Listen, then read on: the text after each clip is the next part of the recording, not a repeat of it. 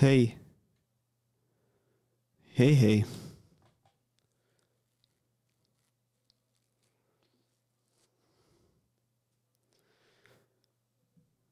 kõigile tervist. huvitav, see sound oli hästi madal, vait. minge kõik. minge kõik. ei, tundub, et nüüd on korras hmm.. Ants saab vahest äh, siin ligi nendele asjadele, sest ta siin. ei ole, ei ole olemas paremat fiili kui see, kui sul on heeblid paika pandud. ja siis su laps tuleb. sest et ähm, sellel helipuldil ei ole. kuidas neid nimetatakse?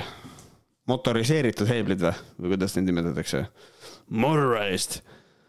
nii peab ikka, konkreetselt on soovituslik pilt teha nendest, enne kui sa kodust ära lähed ja näiteks tuleb äh, koristaja ja siis koristaja puhastab su helipulti ja siis lükkab heeblid paigast ära. Although to be fair, ma tegin selle väga dramaatiliseks. tegelikult oli niimoodi, et mul koristaja, kui käis, siis äh, sisuliselt kõik oli paigas, aga ma sain aru, et noh, heeblid olid nagu, neid oli, noh, nendel oli pihta mindud, ma sain aru. midagi väga hullu ei olnud, aga.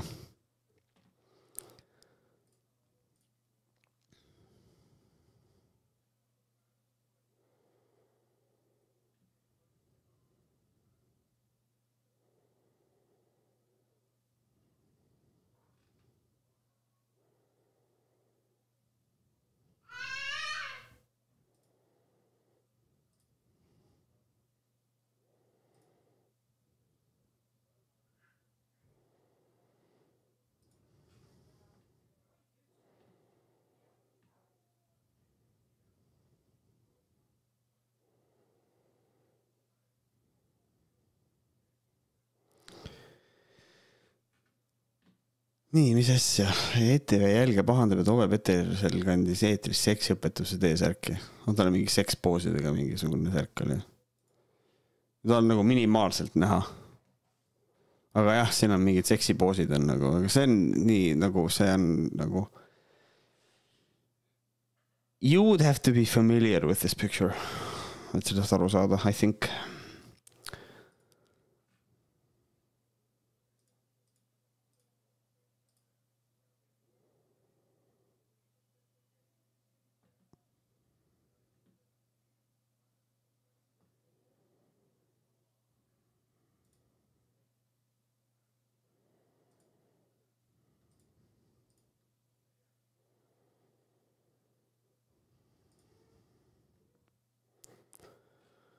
kas vaataja voog olid juhuslikult, kes teab?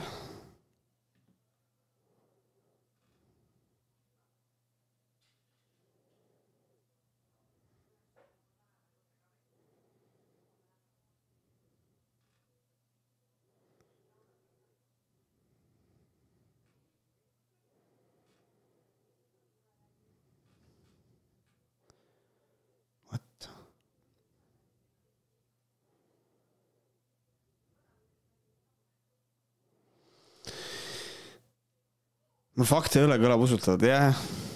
ma pean ka õppima selle ära, hakkama ütlema.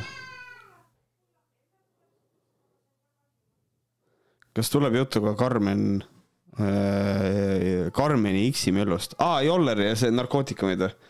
tead, ma ütlen täiesti ausalt äh,. ma ütlen midagi, ma ütlen midagi sellist, mis mina arvan reaalselt seda, et äh, meie ühiskonnas enne äh, suudetakse normaalselt suhtuda, ma ei tea, transsoolisusse kui sellesse, et keegi tarbib narkootikume. ma ütlen täiesti ausalt või et noh, või et, et idee sellest, et jah, keegi suitsetab kanepit, aga tegelikult ta ei ole pätt. ma arvan, et sellega läheb reaalselt kauem aega äh,. mul, aga üldiselt selline, mul nagu mingisugust väga sihukest pikemat mingit äh, seisukohavõttu nagu sellel teemal ei ole.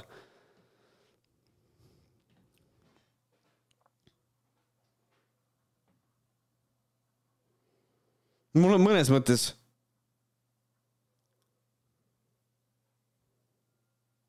no see on kahe otsaga asi, ühest küljest mul on, mul on nagu see seisukoht, kui sa, et kui sa tarvitad mingeid aineid, onju ähm,. siis sa peaksid eos arvestama what comes with that territory, onju. aga teisalt jah, ma saan aru sellest, et iga, iga tarvitaja kohta öelda pätt või midagi sellist ei ole ka okei okay.. aga see on sihuke kõige lihtsam, kõige, kõige lollakam tweet, mis ma seal all nägin, oli see, keegi kirjutas, et. Et narkomani surm on tema enda valik, mis on täiesti mental, nagu ei, tema surm ei ole tema valik selles mõttes, kui ta just ei otsusta ennast ära tappa, siis jah. aga. et noh, see on sihuke pluss nagu sealt nagu paistab läbi ka see, et nagu kui inimesel on sõltuvushäire, siis olla narkosõltlane ei ole nagu su valik. inimene, mitte ükski, mitte, mitte ükski inimene ei vali seda, et ta on narkosõltlane. iga inimene, kes ja siis on nagu see seisukoht, et ei no aga tema tegi valiku, et hakkab tarvitama. jaa. aga ta ei valinud, et olla narkosõltlane. siin on väga suur vahe et äh,. aga ma ei tea, see narkoteema, ma ei viitsi sellega tegeleda eriti. Mul on helipult olnud üle viieteistkümne aasta ma ei teadnud, et neid helbiteks kutsutakse. okei okay. kas sa siis ütlesid slaider või? sest et inglise keeles vist on slaider selle nimi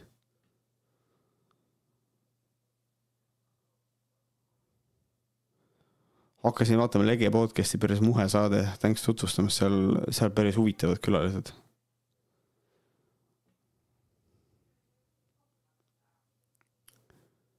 nupud.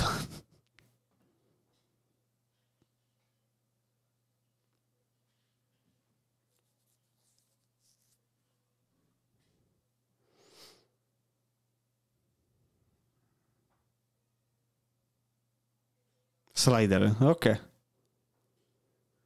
ei, mina ütlesin selle kohta slaider, Märt.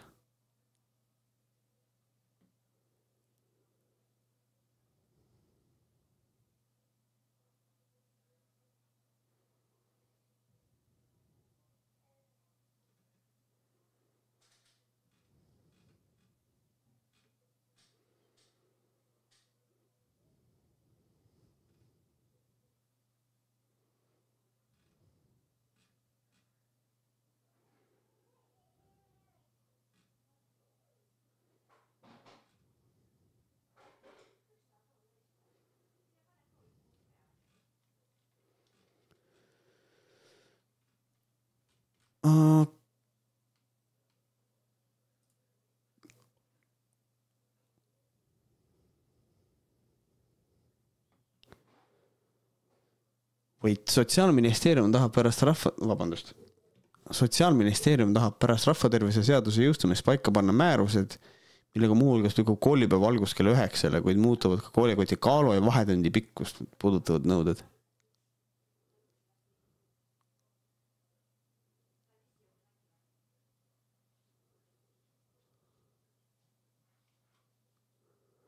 kusjuures see, et tunnid lükata üheksa peale ähm,. Seal on hästi huvitav väike nüanss. meil on hästi palju inimesi, kes ütlevad seda, et tänapäeval me kasvatame pehmosid ja äh, et äh, lapsed ei saa hakkama, me kasvatame pehmosid, kõik tehakse ette ja taha ära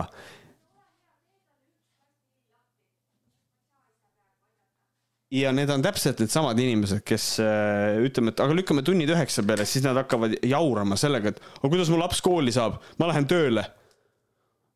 täpselt, siis, siis hakkab see jaur pihta, et nagu ühest küljest on nagu see, et äh, kurat, et lapsed äh, on, on täiega pehmod.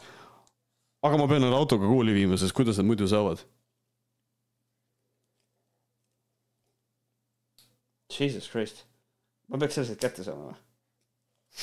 mul, ma sain lihtsalt tugeva noogutuse praegu. nii. ok, siis tuleb niimoodi kaevata. nii, ma annan sulle tükkhaaval seda. nii, oled valmis? palun, see on esimene tükk. tuleb kohe veel, pikk juuksekarv on plastiliini sees. Disgusting.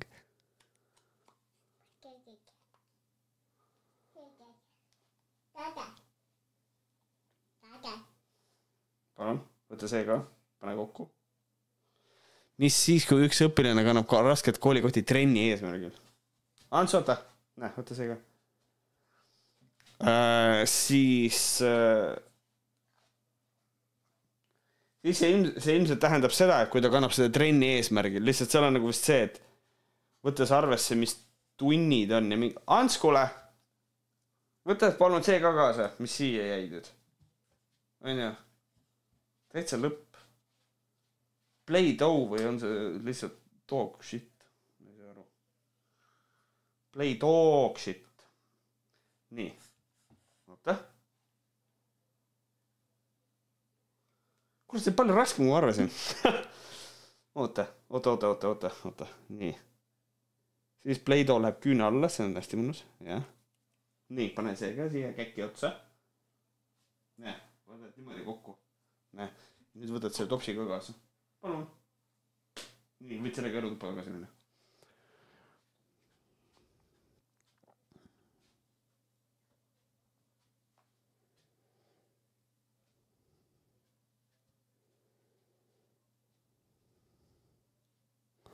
Ma kandsin ka trenni eesmärgil, see oli mälutrenn. minul oli klassivend, kes kandis kõiki, kõikide tundide asju, noh, ta ei saanud seda lõpuni teha, lõpuks neid asju oli liiga palju, on ju, mingis klassis. aga tal oli mingi vahe oli niimoodi, et tal olid kõikide õppeainete asjad kogu aeg kaasas. sest et siis ta ei pidanud kodus koolikotiga tegelema.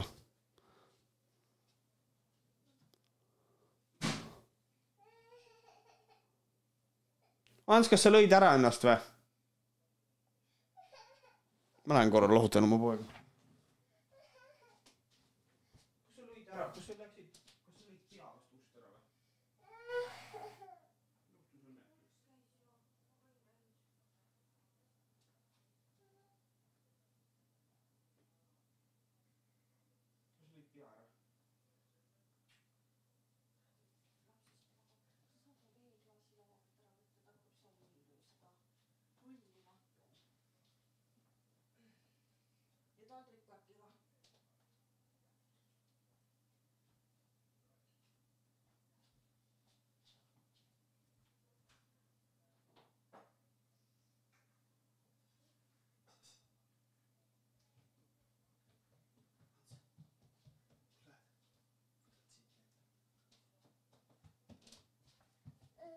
kuule, aga vii see karp tagasi.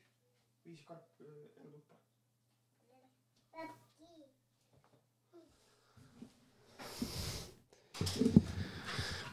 ma omal ajal ei käinudki koolis, normaalne.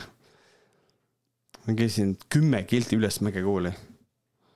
minu ema on rääkinud, kuidas emad koolis käisid, ma ei tea, see tundus, ma ei tea, tundub nagu Oregon Trail.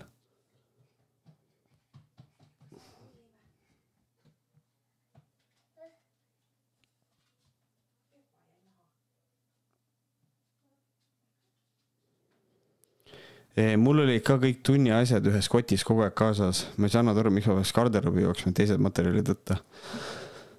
garderoobi joosta või? aa, teil oli mingi äh, kappide süsteem või? aa, minul oli koolis niimoodi, et või noh, Märjamaal oli niimoodi, et äh, sa läksid oma asjadega koju. sul olid ühe koolipäeva asjad olid kaasas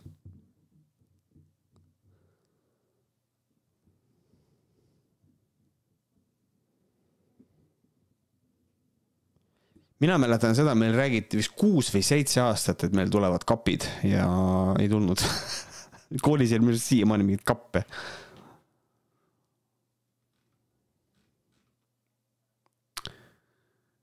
aga see, et koolipäev hakkab kell üheksa, see tundub tegelikult hea mõte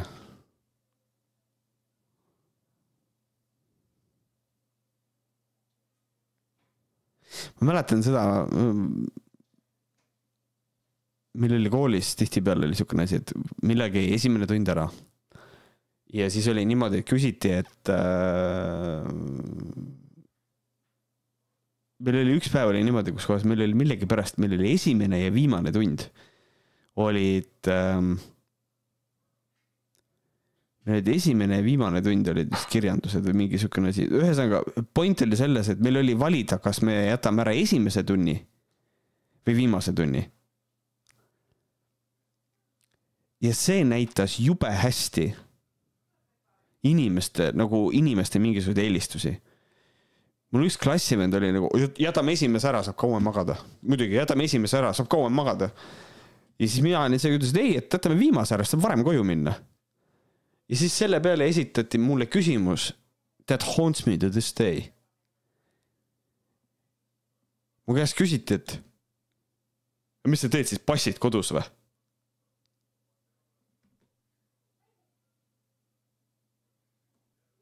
Nagu, kas sa passid kodus või? jaa, mulle meeldib kodus olla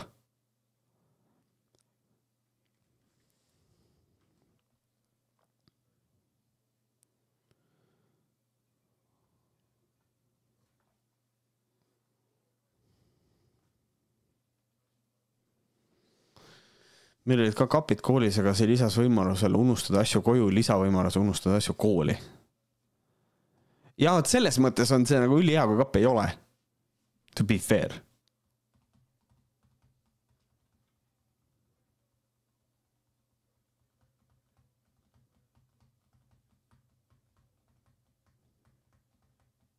ikka viimane tund tuleb ära, et what the fuck saab varem koju, jaa. jaa, jaa mul oli kogu aeg, ma, ma ei tea, mul oli kogu aeg see asi, et ma, mulle nagu tohutult meeldis kodus olla, mulle siiamaani meeldib kodus olla. et nagu.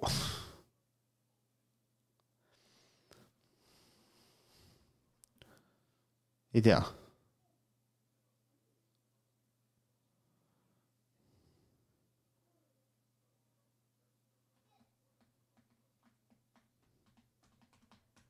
et nagu, miks ma seda räägin, on nagu see, et noh, kui koolipäev hakkab hiljem, siis on nagu veits on nagu see nagu, et noh, et ta lõpeb nõks hiljem ka. aga sellel on üks, üks point veel mm,. et see tähendab, et koolipäeva lõpp on lähemal tööpäeva lõpule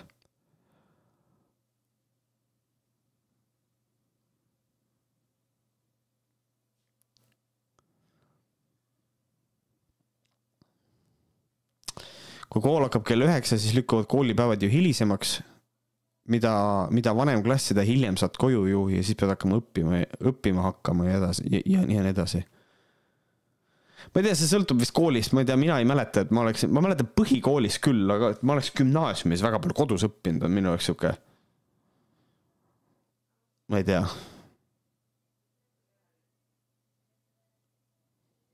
see sõltub hästi palju nagu see peaks, tähendab, see peaks olema kaheosaline, lükkame koolipäeva hilisemaks, on ju, tund aega. aga siis me peaks lisama sinna ka selle, et me ei, et nagu koolitööga ei mindaks lolliks, nagu see peab ka olema nagu mingi thing. teine asi on see, et üldse nagu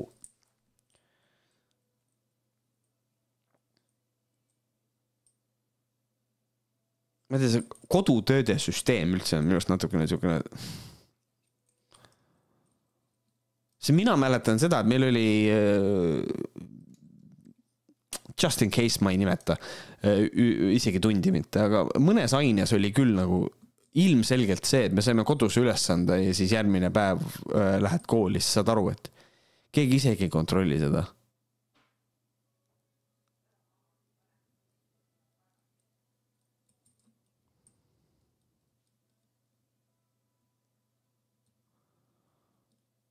et ma saan, ma saan nagu sellest aru, et on mingeid asju, jah, sure, matemaatikas ka on ju, ma teen, ma teen, äh, ma teen kodus. noh, see on nagu harjutamine sisuliselt, ma harjutan ja siis järgmine päev on koolis äh,. hei, mis õige vastus on, siis õpetaja ütleb, jaa, siin õige vastus on kuusteist. ja siis sul tekib nagu see, wait, ma sain kakskümmend viis, what the hell aga siis see eeldab, et sul on nagu huvi lahingu käigu vastu nagu nagu, et selle nagu, kuidas seda lahendit nagu muuta. mis tähendab, et siis peaks õpetaja selle ülesandega nagu läbi käima, on ju, et äh, mina mäletan, meie matiõppes tegi niimoodi, sellest oli nagu kasu, mitte mulle, sest et mind ei huvitanud mat-, matemaatika nagu fuck numbers, aga, aga kuidagi nagu, aga mõnes aines oli see, et äh, noh, a la toome, toome nagu matemaatikatunni näite, aga see ei olnud matemaatikatund, mis õige vastus on? viisteist ei ole kakskümmend on kõik, kogu lugu.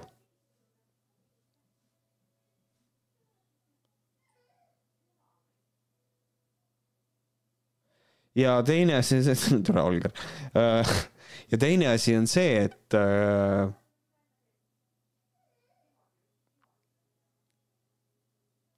koolis ei õpetata kahjuks mõtlema, no see on blanket statement, mis ei vasta tegelikult tõele. Väita, et koolis ei õpetata mõtlema, see sõltub koolist, see sõltub õpetajast, see sõltub sinust endast, see on kõik äh, nii ja naa, see sõltub sellest, millal sa koolis käisid, siin on nii palju, siin on nii palju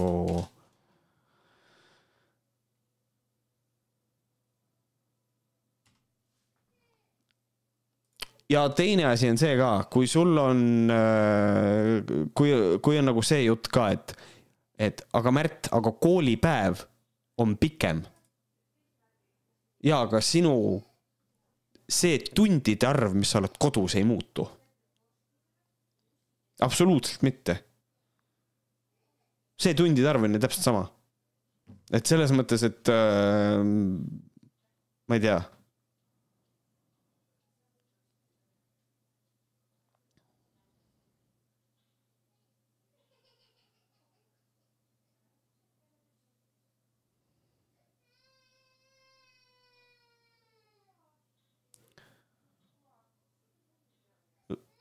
õige fuck math pomisesin omaette hetkel rattaga sõites, näed.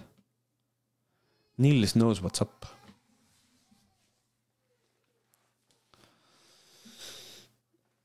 Gert Joe.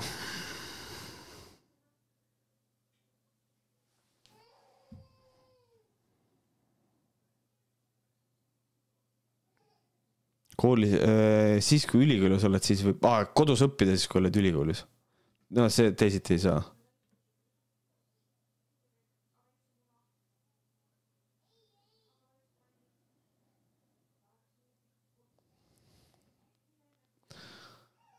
mu matemaatikaõpetaja on kristlane, no vot siis.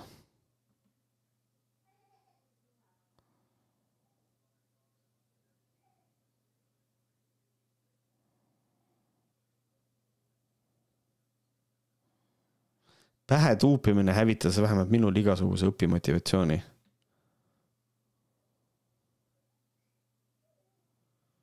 kuidas sa tunne, kuidas sa tunned seda, et õpetaja sest et kui sa ütled, et, et kui sa ütled, et pähe tuupimine hävitas sinu motivatsiooni, siis kuidas sa tunned, et õpetaja süü on see, et äh,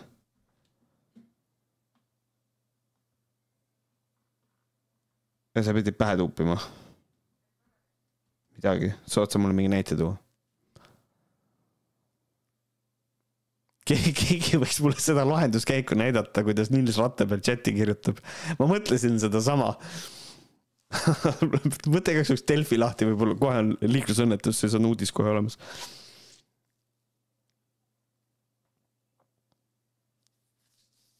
Mata teeb oluliselt lihtsamaks, kui õppida erinevaid ülesandeid ära tundma ja tead, mis nende struktuur umbes on. mina olen nii humanitaarinimene, et ma konkreetselt, mul on, see on täiesti crazy näiteks kui sa võtad kolm täringut, T6-te, kui sa võtad kolm T6 täringut ja veeretad neid. ja ma saan silmade arvu kätte, siis mul on reaalselt lihtsam kiirelt täpid kokku lugeda, kui hakata arvutama neid kuus pluss kuus pluss, kuus pluss kuus pluss neli, mul on lihtsam täppe lugeda kiirelt, nagu kuus pluss kuus pluss neli ei ole muidugi hea näide. sest et seal on see süsteem, et ma, okei okay,, kuus pluss neli on kümme, see on kuusteist vist, midagi sellist aga mul on nagu, ma olen, ma olen matemaatikas mega nõrk inimene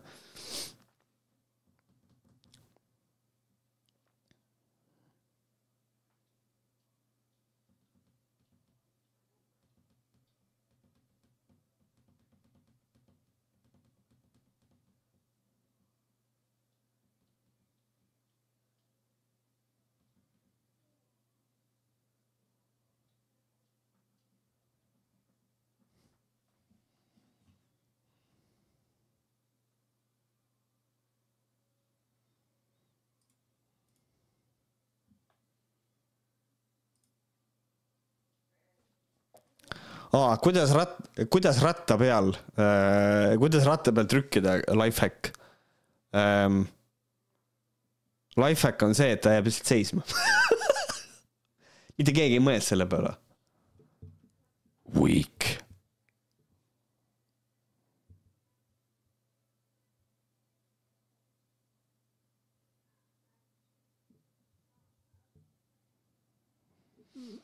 Selles ma ei süüdistagi konkreetselt õpetajat. Pigem soosib koolisüsteem näiteks vastuse leidmist, mitte seda protseduuri, kuidas jõuda vastuseni, näide siis matemaatika ülesandes.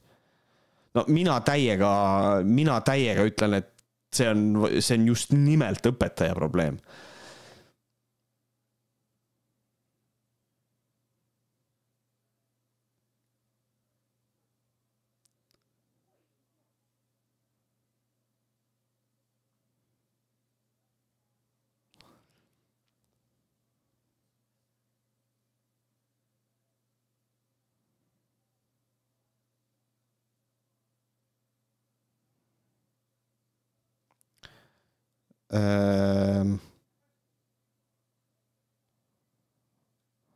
viisteist koma kuus kilomeetrit tunnis.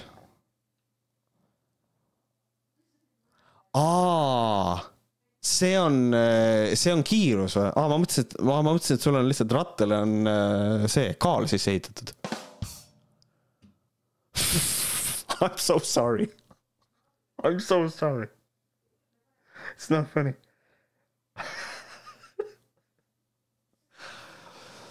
sa oled arvutamises nõrk, aga see ei tähenda, et matemaatika struktuurid ja näiteks arutlemine ja nii edasi tundu, ei tundu ju nõrk sul. ma mõtlesin, et see juhi IQ no mina vabandan ei, Niilis, me ei teadnud, sorry. me saime, me saime kõik valesti aru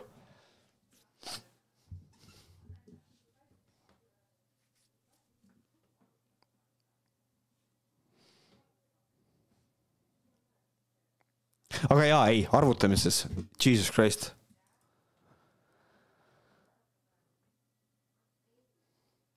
korrutustabel on peas. sest et see on sihuke asi, mida nagu elus vaja ka läheb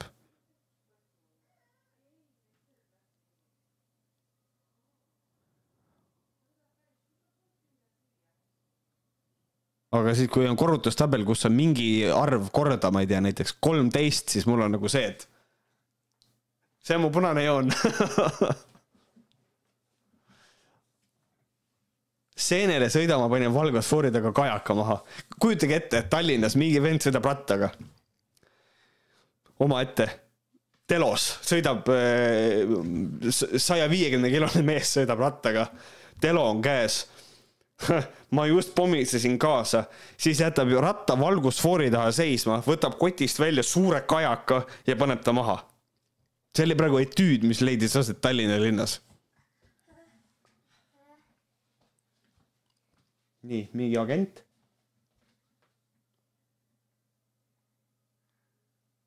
Ants, see on mega rõve.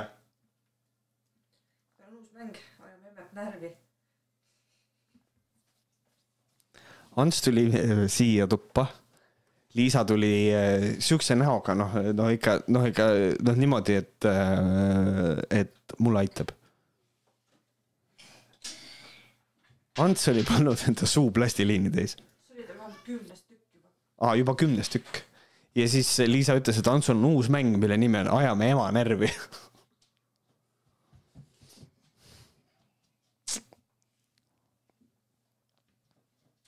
palju sa kaalud poolteist kilti?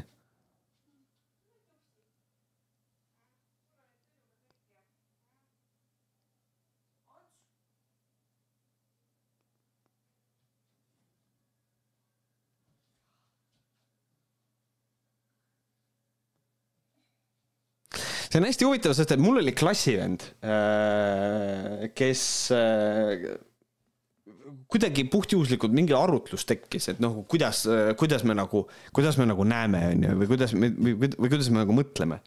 ja hästi veider oli see, et noh, et mina ütlesin, noh, mina näen pilte. noh, mul ei ole afantaasiat, on ju. see on, mis on täiesti crazy asi, on olemas inimesi, kellel on afantaasia. Crazy, ta ei suuda, inimene ei suuda asju ette kujutada. aga et mina näen pilte, kui ma mõtlen, mina näen asju piltidena ja siis mu klassivend ütleb, et ei, et tema ei näe, tema näeb numbreid Te, tema näeb kõiki asju numbritena see on lihtsalt nagu. You poor, you, you poor person. aga samal ajal ta oli matemaatikas, ta oli, ta oli meie klassis vist ainukene, kes lahendas matemaatika ülesandeid niimoodi, et. Et kui mingi asi jäi pooleli, siis pidid kodus ära lõpetama, aga tal ei jäänud kunagi üks asi pooleli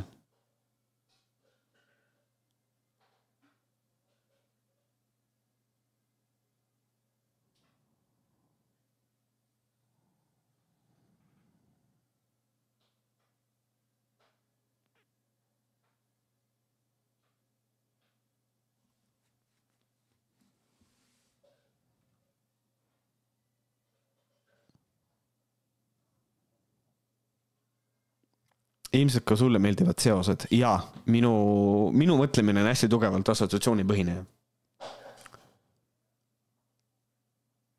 äh,. mingisuguseid asju ma täiesti leian seose, näiteks äh, sõber Sten Robert mm, andis mulle hästi hea lifehacki. kui sa ootad näiteks taksot, tellid Bolti, onju siis äh, kui on Bolti autonumber äh, ja numbrimärk, siis võta kolm, siis mul ei, noh, mul ei jäänud num-, mul ei jäänud numbrimärgid meelde, siis ma pidin kogu aeg kontrollima äh,. aga, aga siis ta andis mulle väga hea viisi, kuidas seda meelde jätta ähm,. on see, et proovige seda. võtke need kolm tähte ja tehke nendest sõna, kus need tähed on olemas. näiteks mina jätaks meelde, et on automärgi, ma jätan meelde, eks ole, tuleb kuradi, tuleb Audi ja numbrimärk on become näiteks. peale selle, peale selle väikese lifehacki õppimist ma ei ole mitte kunagi pidanud enam kontrollima, kas automistüül on õige või, või mitte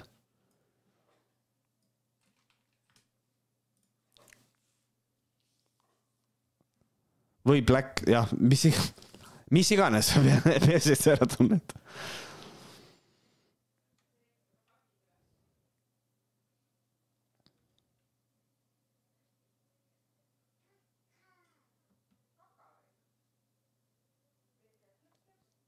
Mason, mis need numbrid tähendavad? Wow, you translated it into, into Estonian, thank you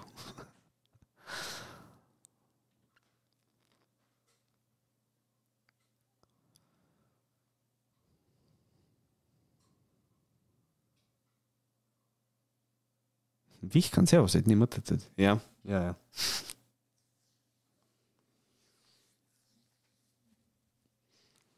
aga on mingid kuradi, vau, lahe songsvõrd äh,. selles mõttes äh, ma tean, mida see tähendab, et sa pead tuupima ka, et meil on olnud nagu mingi valemite pähe õppimine, noh. Sorry, aga see, seda ma ei osanud teisiti teha, kui tuupida ja siis mul oli, siis mul oli see teine trikk, et ma tegin endale spikri, aga kui ma olin spikri endale valmis teinud, siis mul olid kõik valemid peas. ja siis oligi nagu see, siis ma avastasin seda, et äh, ja see asi, mida ma päriselt tegin, kui ma pidin näiteks õppima luuletuse pähe, siis ma võtsin luuletuse ette ja kirjutasin käsitsi luuletuse paberi peale ümber. Ja luuletus oli põhimõtteliselt peas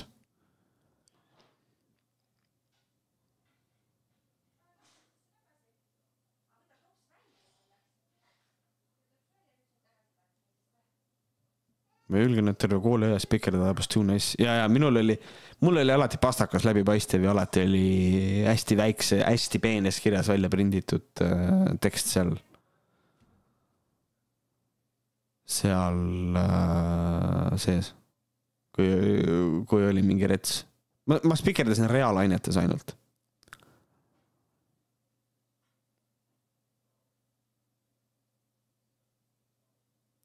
mida sa seal humanitaarainetes spikerdad ikka nagu?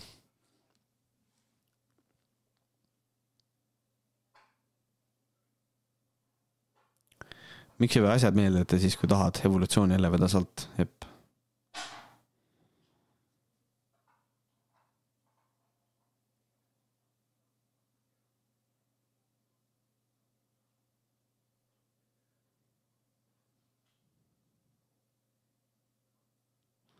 Huvitav oleks koduloos spikerdada. minul oli kodu, kodulugu oli ainult esimeses klassis ja edasi ma sealt ei teadnud, mis asi on kodulugu. Still don't.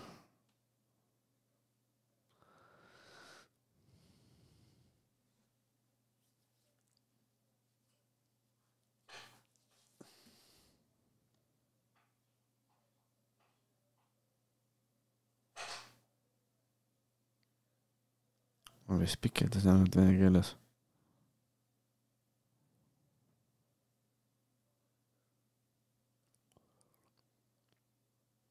Fucking vene keel, Jeesus Kristus.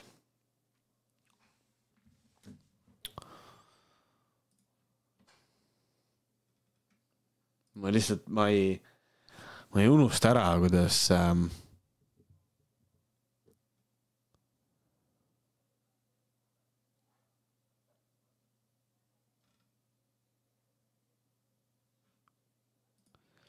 kuidas mul üks klassivend langes sügavasse ränti vene keele õpetamise koha pealt, nagu meil oli üks vene keele tund oli niimoodi, et me õppetööd oli seal tunnis kümme minutit, kolmkümmend viis minti kuradi klassivend räntis, jumala õiget juttu.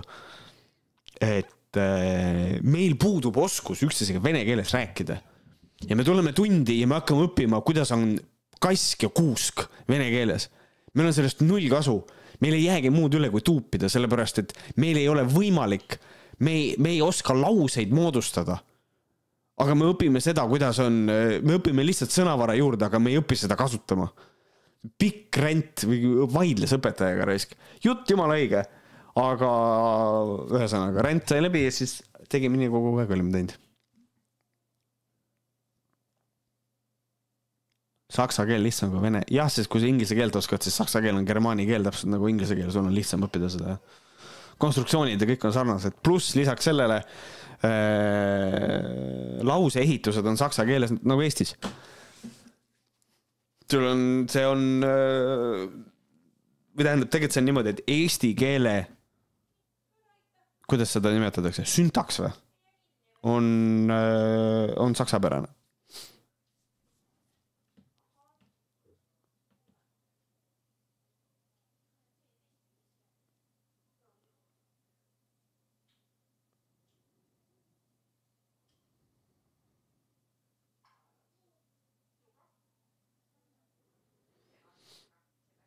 ja matemaatikaõps oli see füüsika, mäletan, lubas valemispekrit kasutada kontrolltöös, sest et kui sa ei saa sellest valemist aru ja kasutada ei oska, sest pole nagunii kasu Fucking based, väga hea sellest ka. You know what? Do it.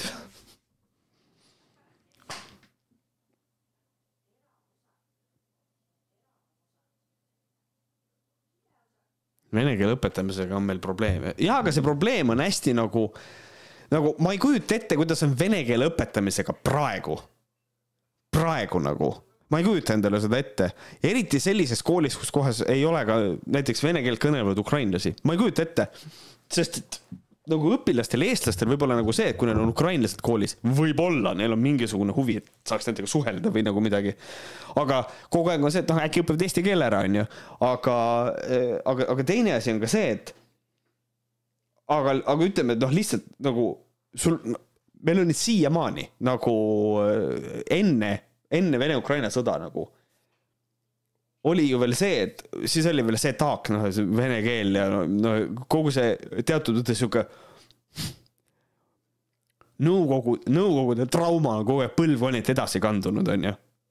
nüüd on täielik reset, noh. ma ei tea, see on sihuke.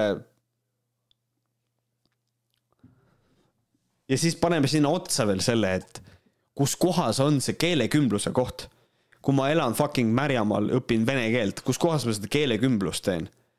sest et minu ajal oli ikkagi see, et ma läksin koju, läksin internetti, võtsin inglisekeelsed veebisaidid lahti ja lugesin ja nagu tarbisin meediat, mis oli inglisekeelne. ma teen seda siiamaani. Guess where this is coming from? noh, et, et see on kuidagi sihuke, ma ei tea, kuradi väga keeruline, ma ei kujuta ette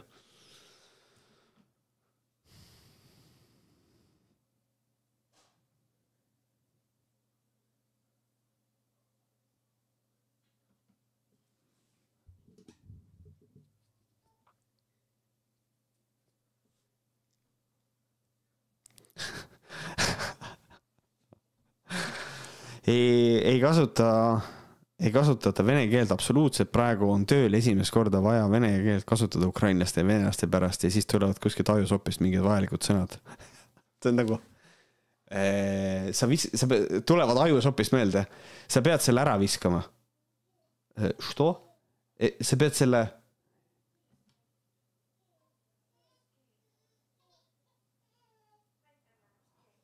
Võbrasil nahhui lihtsalt ma kujutan ette, see käib niimoodi välja.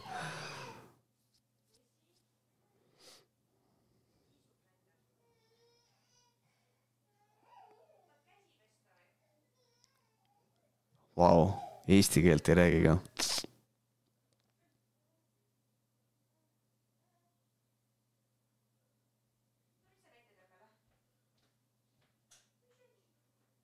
Üksikuid sõnu ja luuletusi, no täpselt sama probleem jah, mis meil omal ajal.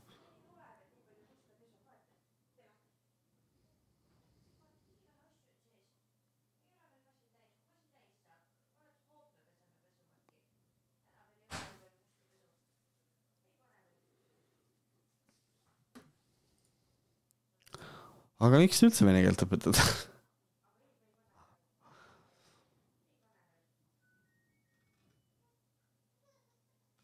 Jesus.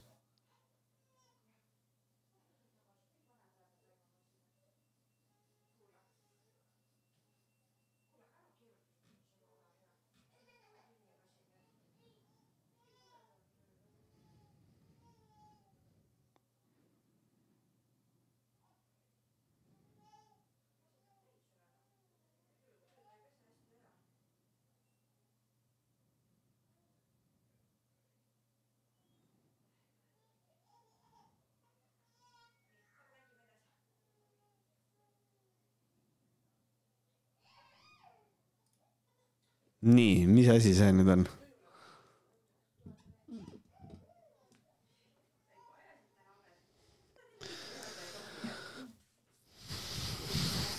tervitused Norra tagasi.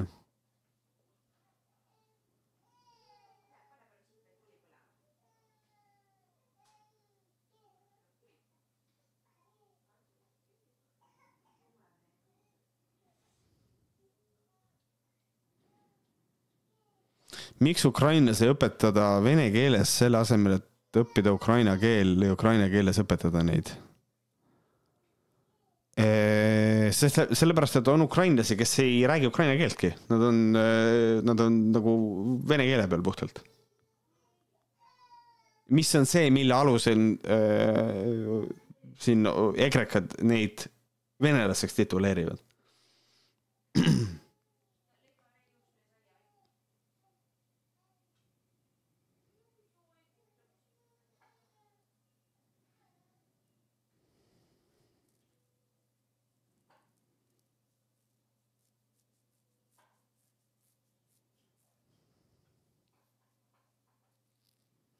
pidid tegema mingi video, kus õpetad midagi küpsetama. õde kuulmise translate'ist järgi õppis laused pähe ja kui küsisin, mida sa räägid, ta vastas, et ei tea. issand ema, see on nagu minu ema kirjutas mulle, kui meil oli kodus mingi lugu kirjutada. ma kirjutasin eesti keeles talle loo valmis, ta tõlkis selle vene keelde ja siis ma lihtsalt kirjutasin, ma sain jube, ma sain jube häid hindeid.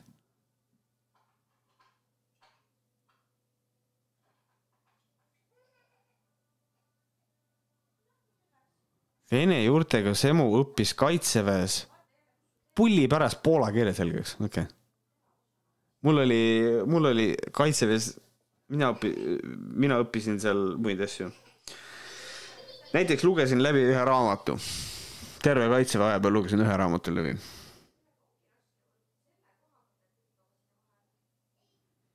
insener Kaarini hüperboloidi lugesin ära loll, vene kirjanik.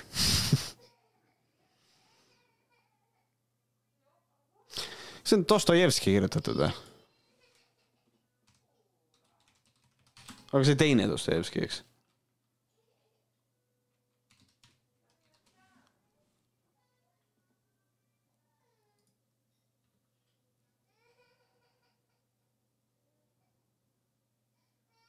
ei, mitte Dostojevski, Tolstoi, jah, Aleksei Tolstoi.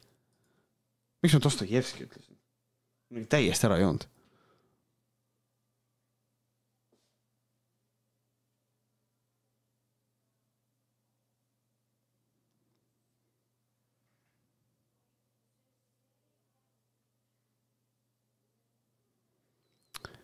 Äh,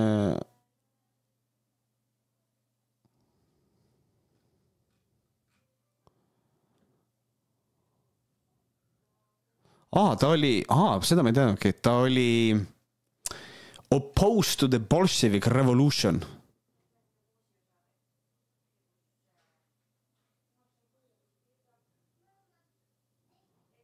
huvitav, kuidas see võimalik on, despite having opposed the Bolshevik revolution in nineteen seventeen, he was able to return to Russia six years later and live a privileged life as a highly paid author, reputedly a millionaire who adapted his writings to conform to the line laid down by the Communist Party. no samas ta suri ära, kui ta oli kuuskümmend kaks, nii et.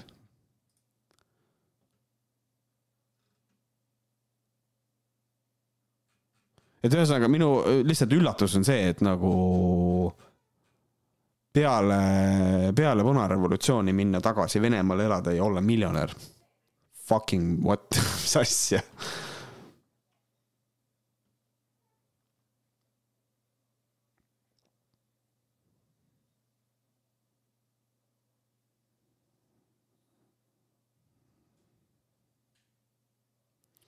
Mul isa ehitaja ütles, et objektil saab kõik kaetud fraasiga kuidas raamat oli? normaalne.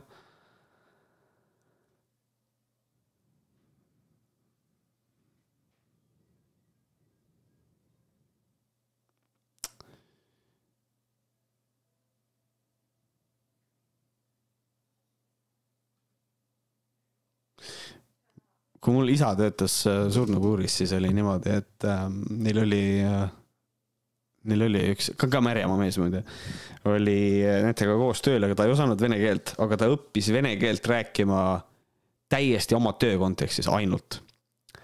ta ei teadnud sõnavara, mis oli, jäi tema töö, tööst kõrvale nagu. see oli, ja siis selle kohta tehti niisugune nali, et noh, ta ei saanud aru, kui talle noh, öelda roppusi või midagi niisugust no jah, kui sa ütled pohhu, siis ta sai aru, aga kui sa nüüd ütlesid talle hui, ma toon kohe näite, siis noh, siis ta ei pruukinud sellest aru saada ja siis oligi, et äh, minu isa vist helistas äh,, helist-, pränk noh, minu isa helistas ähm,. et tema äh, nagu selle kuti ülesanne oli telefonile vastata, eks. ja siis noh, väga palju helistas, helistasid venelased ja siis minu isa helistas äh, töötelefoni peale ja vene keeles. Vene keeles küsis, et et tere, et, et otsin surnut ja. ja siis küsis ja, et kuidas nimi on ja siis mu isa ütles. Sun huiv tšai. ja ta ei saanud aru, mida see tähendab. see tähendab pista munn tee sisse. jah. ja ta ei saanud aru ja siis ta lihtsalt läheb, läheb ülesse osakonda. tere, kas teil on sihuke surnu täna on siin nagu Sun Huivtšai või? kõik vaivad otsa. mis asi? Sun Huivtšai, kõik hirmuvad, vana ei saa aru, milles asi on.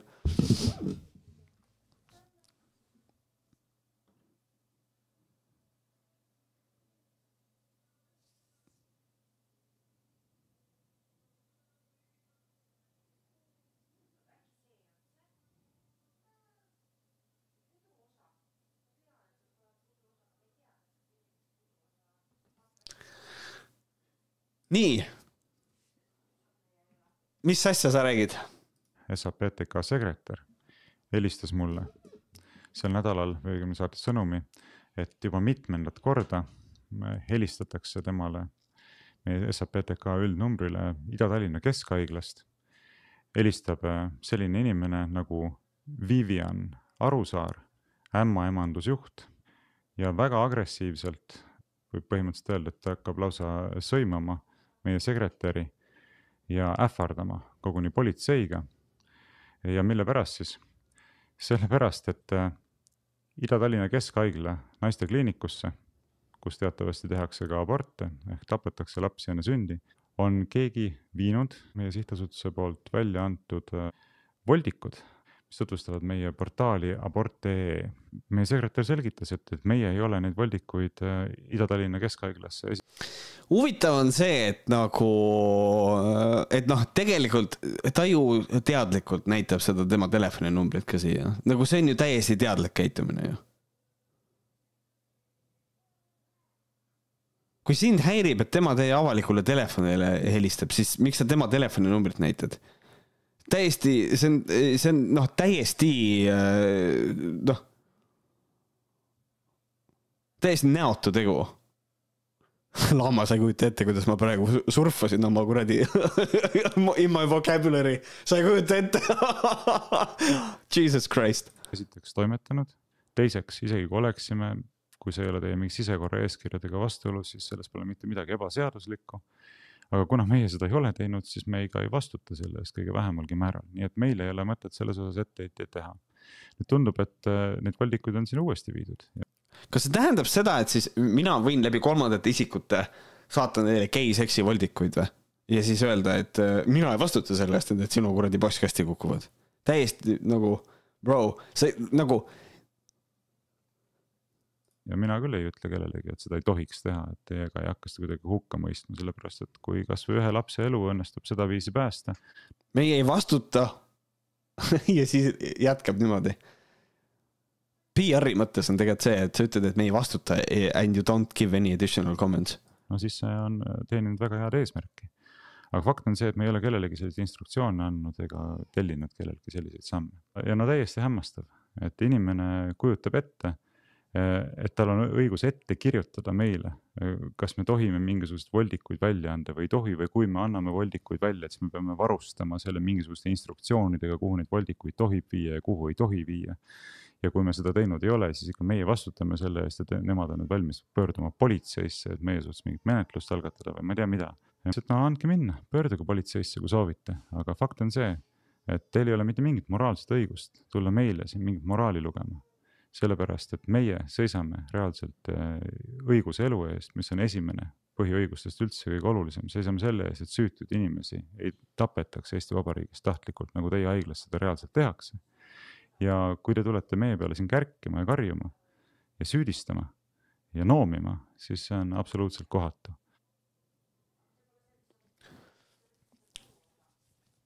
tere, kui lihtne on tegelikult selle inimese peas elada. tegelikult ka, et äh, SAPTK sekretär, all right, sa võid konkreetselt, sa võid nagu reaalselt hand wave ida igasuguse kriitika, mida keegi sinu suunas teeb, sellepärast et tal ei ole moraalset õigust kärkida, sellepärast et ta on kuidagi abortidega seotud. Interesting.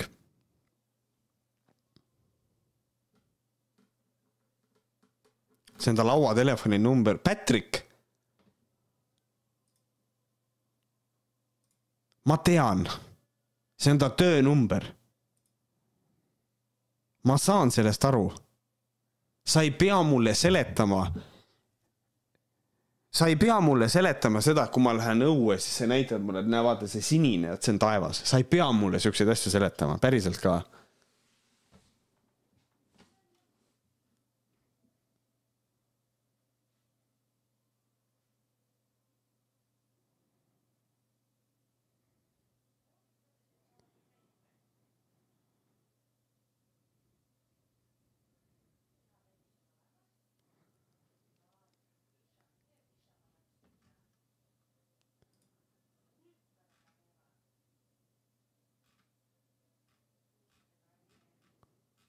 karm, karm.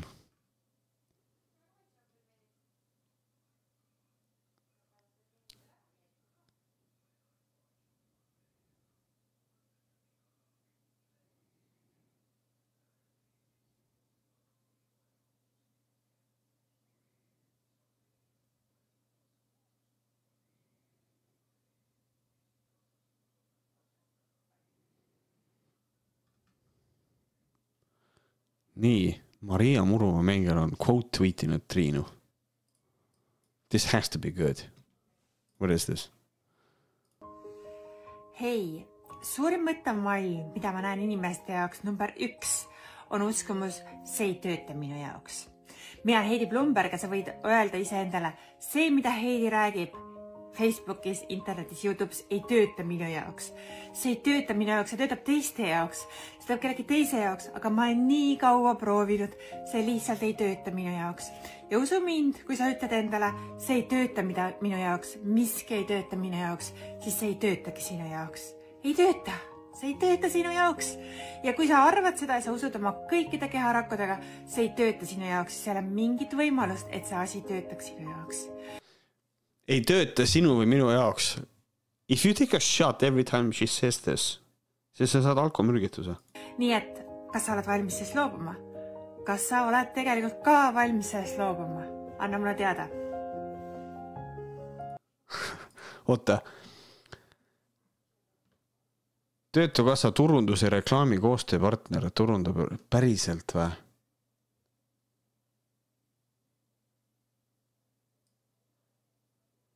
Wait, kas see ei ole? see on seesama kuradi, issand, me vist rääkisime temast ka juba.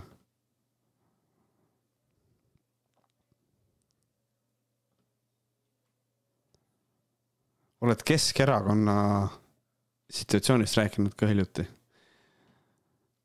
Kind of, aga nagu seal ei ole nagu midagi väga rääkida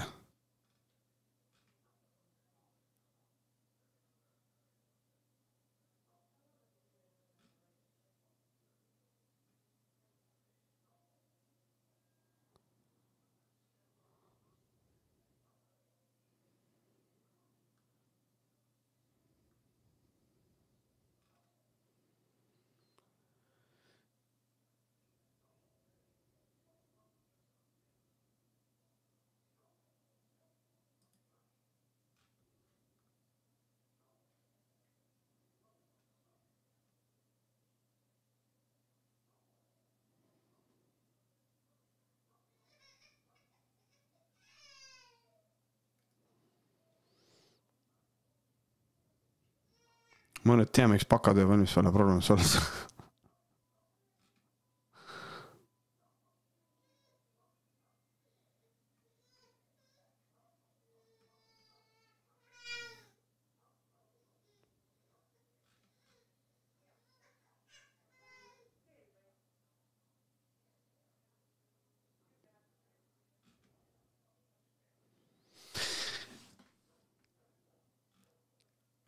kurat mul on hakanud äh,. mul on hakanud nagu jooksma Twitteri feed'i transvestigatorid ja see on nii crazy. kes ei tea, siis mul on ühe korra chatis ka olnud siukene inimene, mõned teist võib-olla mäletavad ka. Transvestigatorid on need, kes arvavad, et kuulsad naised on tegelikult mehed. täiesti insane, see on nagu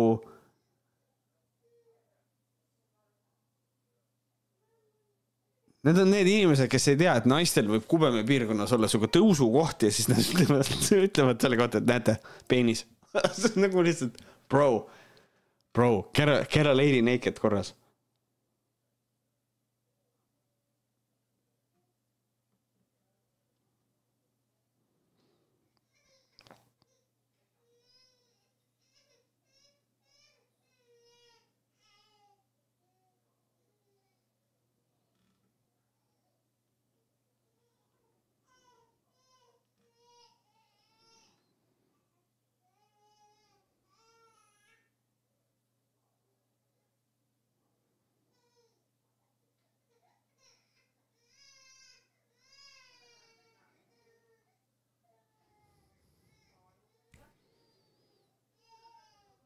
sinu bakatöö juhendaja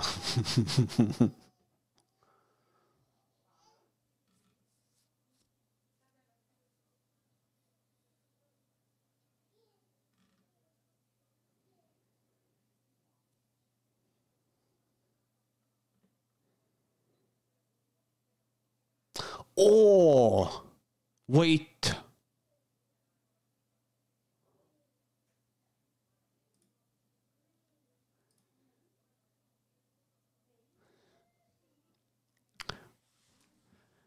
Tsahkna suunamudi ei osanud ta nimegi hääldada, vaata, milline nägi kurikuulus India visiit välja. tundsin, nagu oleksin ise minister. kas ta tegi Youtube'i video või?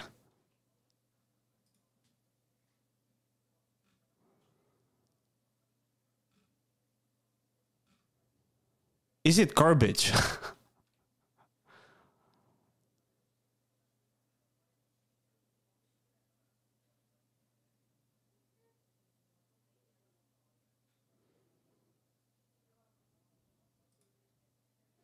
tere, see on mingi nali või? tere, see ei ole päriselt, see ei ole päriselt eksisteeriv inimene. Laar, Isamaa, Refid, sotsid, kesikud, imetage oma hävitustööd üle Eesti, nagu sõda oleks üle käinud, tondilossid igal pool üle Eesti millest sa räägid? Mi-, mis, ah?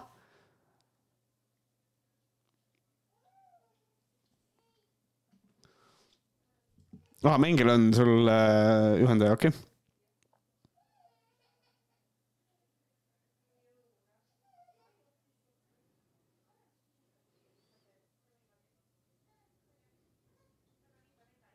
nii et klipikust Tsahkna üritab vaibida Youtuberiga on täiega cringe. iga kord, kui äh, on generatsioonivahe ja üritatakse vaibida sotsiaalmeedias, iga kord on cringe.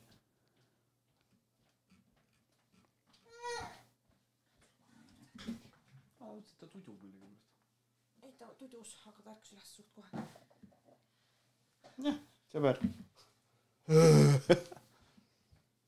ta sõber Pärluti.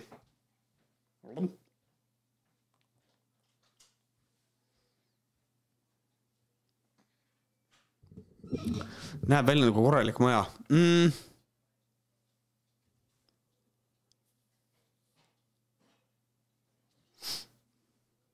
nagu korralik maja ähm,. katus võib-olla vajaks natukene tööd iseenesest. katus võib-olla vajaks natukene tööd aga ma ei tea, muidu tundub täiesti korras. kurat, kivimaja ka, mul. selles mõttes.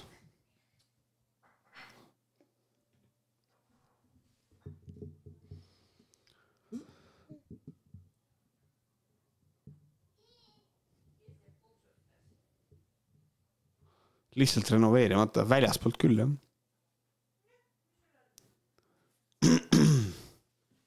Sorry, ehmatasid või? anna andeks. ma köhatasin, sorry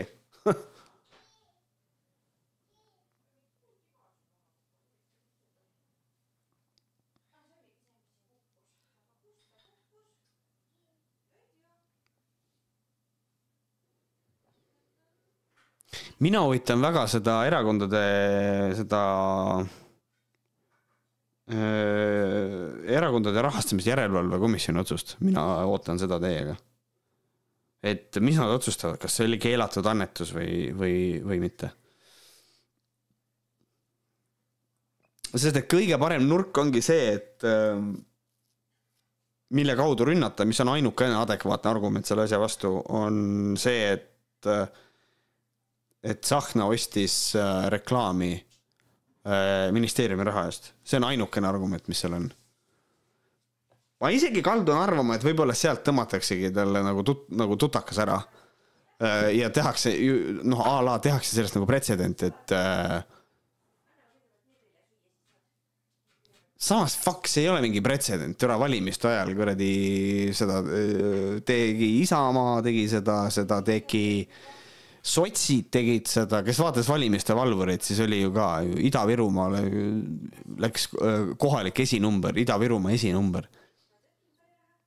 sots, sots läks ju äh, ministeeriumi rahade eest Ida-Virumaale tööle kaheks nädalaks või nädalaks, ma ei teagi, pohhui et noh, see ilmselge lihtsalt ministeeriumi raha kulutamine selle nimel, et endale reklaami teha.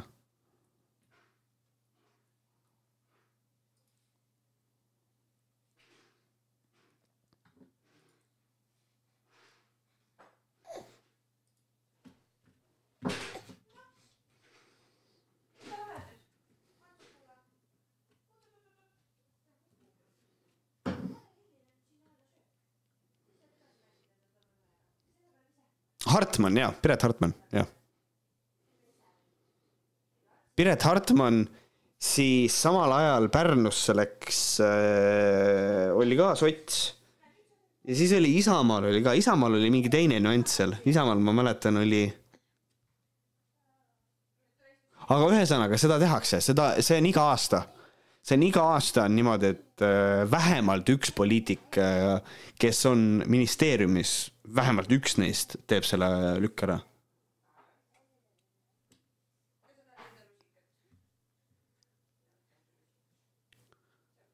mul tekkis küsimus, et kas poliitiku töövari läheb ka selle alla, et ministeeriumi rahaga reklaam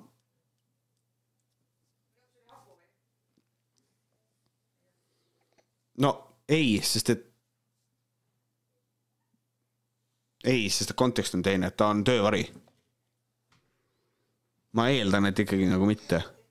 sellepärast, et äh, influencer'i puhul on konkreetselt on äh, võetud kaasa influencer, kelle point ongi teha reklaami sisuliselt.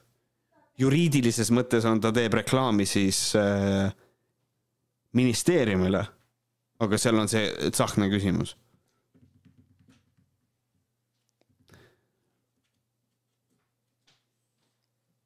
jaa, Maria, jaa, oli küll.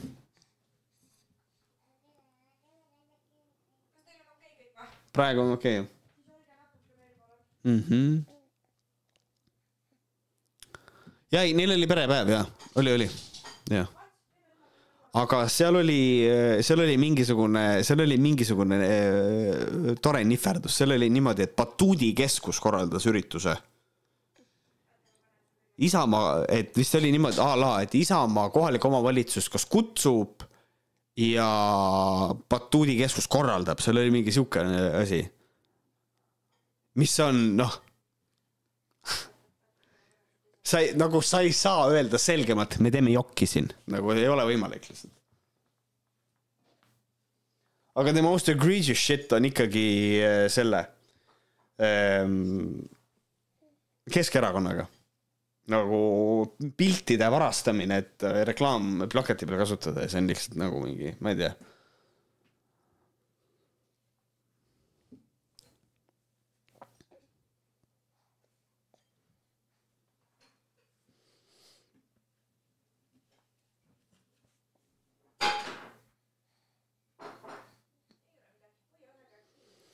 nii, aga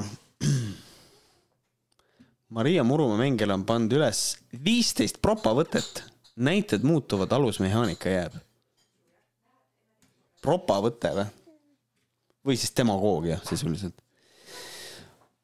Argumentum ad hominem ründab inimest isiklikul tasandil, mitte kõne all olevat teemat, sisu või argumenti. see on hästi levinud, on ju. vaata, milline ta välja näeb, ilged kunstküüned ja ripsmed endale külge toppinud, kuidas ta tagumikku näitega püüab. see peaks olema konkreetselt midagi, mida on visatud äh, selle roosa banaanikese suunas mingi, noh, midagi sealt Loigo poolt sisuliselt. ta on mingi tüüpiline buumer ju, artikli autor on selle vana kommari lapselaps, samasugune valelik nägu peas, ahah. see on kõige nagu äh, ad hom, no lühidalt ad hom siis äh,. ad hom on kõige, kõige nagu sihuke läbipaistvam debiilsus üldse et noh, et äh, kui sa esitad argumendi või kui sa näed kõrvalt vestlust ähm, ja, ja keegi noh, et äh, keegi esitleb argumenti ja, ja siis on nagu see, kui keegi ütleb, kuulge, ta on, ta on kuradi vana, noh, see hea, näide, kuule, ta on selle kommari lapselaps, mõelge nüüd ise. siis äh, ja kui te näete, et keegi selle peale noogutab, siis te teate, et see noogutaja on megaloll inimene, sest et, sest et see on ründeargumenti. pluss seda enam, et on olemas inimesed, kes arvavad, et on olemas siuke asi nagu geneetiline kommunism, I love that shit, see on päris tore. sildistamine inimese, organisatsiooni või inimeste grupiga seotakse alati üldistav halvustav silt.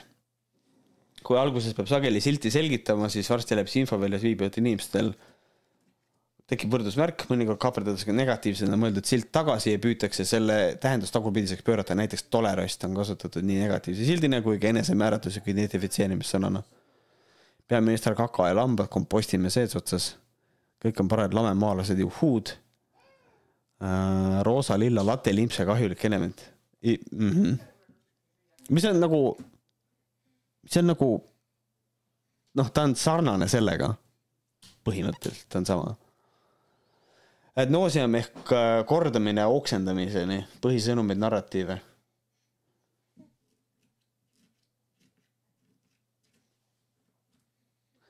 see on lihtsalt, see on, kusjuures see, aga see on, see on see ad nauseam, see on jube hästi sõnastatud, sellepärast et seal ongi mina näiteks, kuidas see mulle isiklikult mõjub, on niimoodi, et ühel hetkel, kui ma kuulen neid samu narratiive kogu aeg, siis mul ongi, mul tuleb siukene tunne peale ja ma ei taha üldse, I don't wanna engage nagu see on nagu see on nagu eelmises striimis, kui äh, lõpus tuleb inimene chati ja ütleb, no kui inimene on mehena sündinud, siis meheks ta jääbki no,. näiteks midagi sellist, siis on jälle, sa tead, et sa pead hakkama, sa pead hakkama otsast peale uuesti seletama mingit asja või esitama neid samu küsimusi, mida sa oled juba niikuinii, mida striimi jooksul mit- mitu korda seletanud ja siis oled jälle selles kohas tagasi. et see on sihuke kuradi, see on jube hästi, jube hästi nime, on see asi nime saanud nagu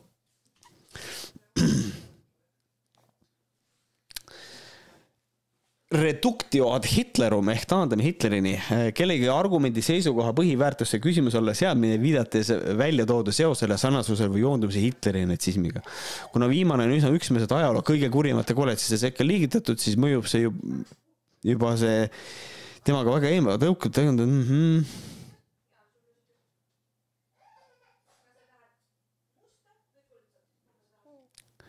Reductio ad Putinum varsti see maski kandmise kohustus on nagu elu Natsi-Saksamaal.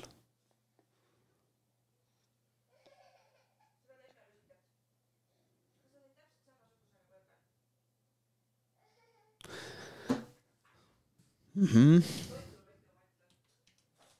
tal on neid veel siin on ju, jah. Demoniseerimine meie nemad vastanduses oma vastase kujutamine totaalselt kurjana, sageli multika karikatuurse kurjana Crooked Hillary kuulub satanistliku pedofiilide organisatsiooni.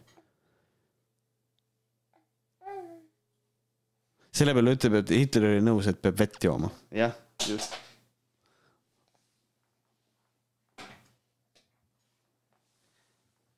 see on natukene teine asi ähm,. või noh, samas noh, ei ole, aga no see on lihtsalt, see ongi see vaste noh, selleni on ju et äh, keegi nagu viskab sulle selle äh, nagu taandab asja Hitlerini, siis ütled, no jaa, aga kas sul ei ole ühiseid joone Hitleriga, on küll.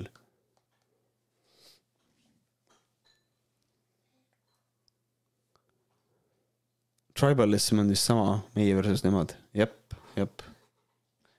Oh my god, sa ju täiega küünistad mind, püha issand, kui valus suur vale, kui valetad, siis valetage niimoodi, et keegi ei suuda ette kujutada, et sellises mastaabis on võimalik tuimalt valetada. kusjuures sisse puistata mõni päris tõde, mis võib suur vale veel mõjusamaks muutuda, no Matrix.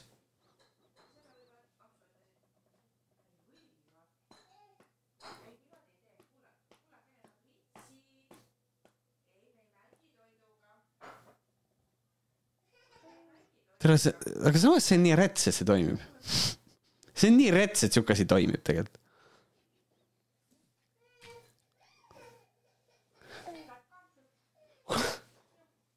ma, ma ei suuda endale ette kujutada selle inimese elu. et nagu ta näeb järjekordselt mingit debiili Twitteris ja siis mõtled, issand jumal. siis mingil hetkel it's not fascinating anymore. Äh, maine laenemine, ülekanne, assotsiatsioonide loomine, enda sõnumid ja ettevõtmised seotakse sümbolite, inimeste, kohtade visuaalidega, millel on selles konkreetses kontekstis ihaldusväärse sihtrühma jaoks positiivse tähenduse kõrge väärtus. loetakse, et positiivne kuvand ja hea maine laieneb ka propagandisti ettevõtmisele. näiteks on rahvuslike sümbolite kasutamine erakondade sümboolikas, Isamaa caps lock'is äh, karjatus erakonna nimena, sinimust Olga Ruklile teadlik pidev seostamine EKRE-ga, laulukaarte ja viljapõldude Pika Hermanni kõrval all peal filmitud lõputud erinevate erakondade valimisreklaamid.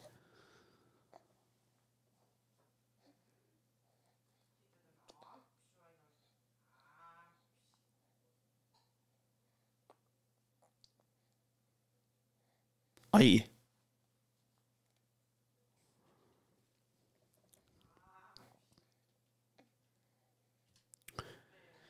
ilusad inimesed. nojah, kõik need, kõik need ilusad äh,, ilusad vene naised, kes propot push ivad.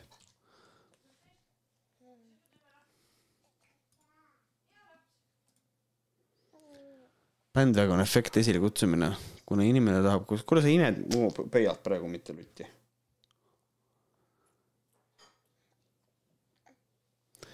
esile kutsuma, kuna inimene tahab koos teistega tegutseda ja karjas on turvalisem, siis on sotsiaalsed suhted ja kuuluvustunne me ajude jaoks täiesti olulised. kui teised nii teevad, mõtlevad, räägivad, siis ma peaks vist ka ju. Ants, hakkasid diskot tegema mulle või? noogutad selle peale või? okei okay.. on jah? No te teisel poisil on küünistamise tuju sellepärast kasutataksegi propagandas sõnumeid, mis panevad meid arvama ja tundma, et hmm, enamus juba arvab sedasi, kuidas me siis, see on nagu see, mismoodi. jah, jah, suur, suur, suur tänu, suur, suur tänu, poeg, et sa lihtsalt haarad minu hiire niimoodi. nii. Et kui, kui Rõe tegi oma asju, siis oli ka, et see et, et kaheksakümmend protsenti eestlastest on pagulaste vastu. ma küsisin algusest peale, kust see number pärit on ma siiamaani ei tea. Probably because they made it up. agatamine või agaseetamine ehk siis whataboutism. Eesti Twitteri poolt agatamine või agaseetamine. see on väga lihtne, minu arust on inglise keeles on see whataboutism ja eesti keeles on whataboutism. minu arust on see fine aga see on, no see ehk siis Gert Kingo meetod. mina, mina ütleks selle kohta pigem kingotamine kui midagi muud. kingotamine, sest et Gert Kingo on eranditult see inimene, kes kogu aeg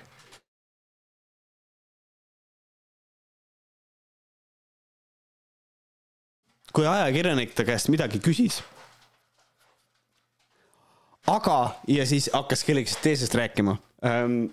ja noh, minu jaoks on see lihtsalt nii sügav probleem. et äh, sul on korruptsioonikahtlustus. ja siis sa su- viitad kogu aeg kellelegi teisele, aga, aga, aga nemad tegid ka, aga nemad tegid ka ja siis tekib see küsimus, et okei okay,, aga kui nemad tegid, kas see on sinu arvates okei okay?? See vastus peab olema ei. ei ole minu arvates normaalne. Sure aga here you are with the same shit, et nagu hästi tobe.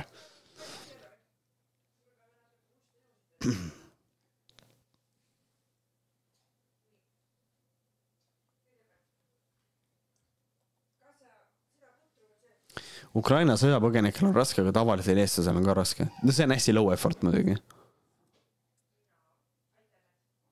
Miks keegi ei räägi sellest, et ja see, see on, see on, see on hästi popp ka, et äh, Te räägite Ukraina, Võhkarid on saanud seda mitu korda, et Ukraina sõjast räägitakse, miks te sellest sõjast ei räägi? sest, sest et me räägime Ukraina sõjast, sest et nagu easy. tee oma podcast ja räägi siis sellest teisest. mine Telegrami, mine ja mine räägi nali turvavõrk annab võimaluse öelda igasuguseid jaburusi, segast peksta.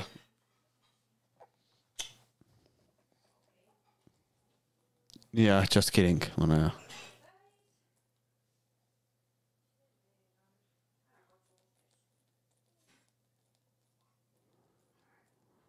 see on äh,, no siin on all näha ka Ruuben Kaalep siin, noh, ta on, ta on juudi taga nagu juudi rahvust inimese taga, juudi taga hoiab nina kinni ja.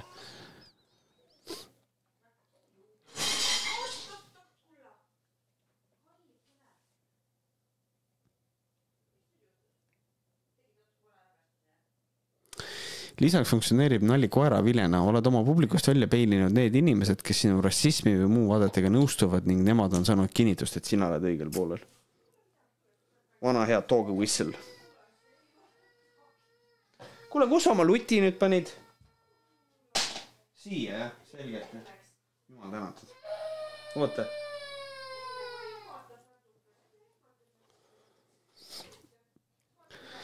sloganite karjumine, lihtsate meelevaldade löödlausade kasutamine, reeglina meie-nemad vastandamise võimendamiseks.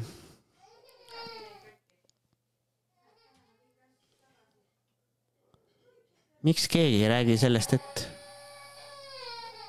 nii. Lihtne inimene tajupala, talupojatarkus. lihtsad tavalised inimesed, just nagu sina, arvavad just nii või käituvad just naa ja see on hea rahva tahe on selge. tere, see on, see on crazy, see, tere, see on, nii palju sellest on EKRE playbook, et see on uhh. vale tasakaal ehk mõlema, mõlema pooletamine.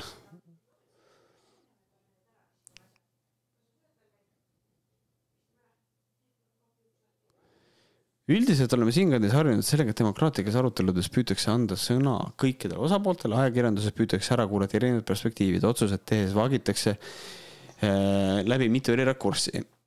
tasakaalustatuse huvides püütakse jälgida mõlemad kõik huvipooled saaks võrdselt hääli, aga see ei ole absoluutne väärtus. toome ühe näite, koolipäev valgusaja üle käivates debattides võiks saada võrdset sõna nii need, kes arvavad, et koolipäev peaks hakkama kell seitse, kui need, kes arvavad, et võiks alustada kell kaksteist aga kujutlege, et on veel väike ega häälekasvusgrupp inimesi, kes arvavad, et lapsed ei peaks üldse koolis käima kuni kaheteistkümnenda eluaastani, võiks need hoopis keldris hoida moosipurkidega kinni. kas te kutsutakse selle osapoole debatile? eelkõige näeme sel, selle võtte kasutamist nii-öelda väljanõudmist meedias, aga meile ei antudki sõna, meid peab ka ära kuulama, tegelikult ei ole ajakirjanduse ülesanne tiražeerida kõiki süsteemselt kogutud tõendeid erinevaid eriarvamusi. mul oli kunagi naaber Jaan, kes karjus kassidele või pomises midagi kasside ülemvõimust, see ei tähenda, et teda oleks kaasatud kohaliku omavalitsuse loomade pidamise eeskirja tä-, täiendamise aruteludesse. kuule, need rabeled. kas propagandavõtteid õpetatakse koolides um,? põhimõtteliselt nagu mitte um,. või oota, tegelikult see, ei, vist küll, meedias vist ikkagi nüüd õpetatakse, minu ajal ei õpetatud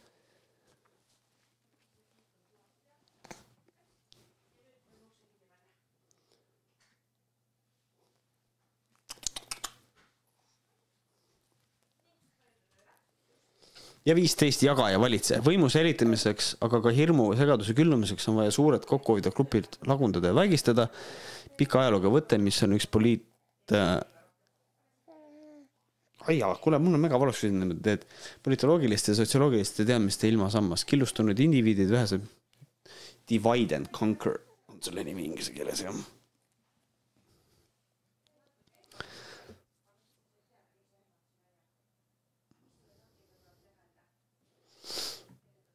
minu ajal ka ei õpetatud, praegu olen midagi kuulnud, aga kas riiklikus õppekavas?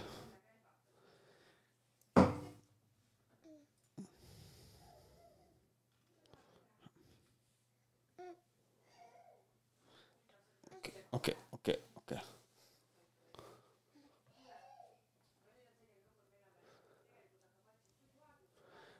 ma tahan siiralt sihuke tweet, ma tahan siiralt teada, mis mu ülemiste naabrite elustiil on, nagu üks hetk laste peale karjumine, järgmine hetk kolm tundi nussimist, siis haigem pidu, eelmine nädal almost tekkis tulekahju, neil oli õnneks uks lahti ja praegu somehow on telekat alla kuulda, kui muidu pole.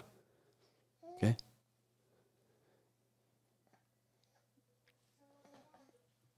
To be honest, isegi ülikoolis me otseselt ei õppinud neid. aa, okei.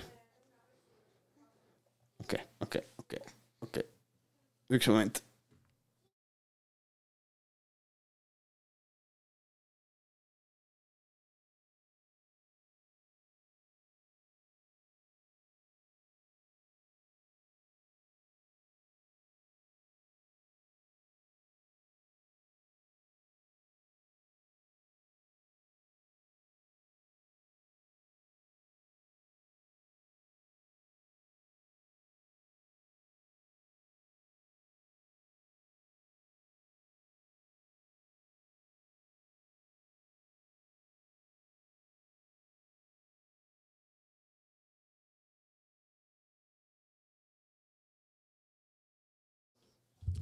nii, I m back.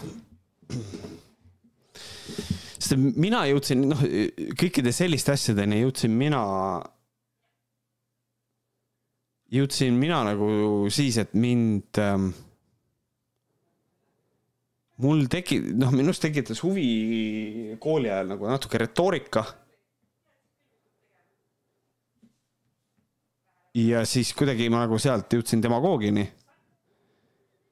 ja siis sihuke, ma ei, kuidagi sealt nagu jõudis see asi minuni.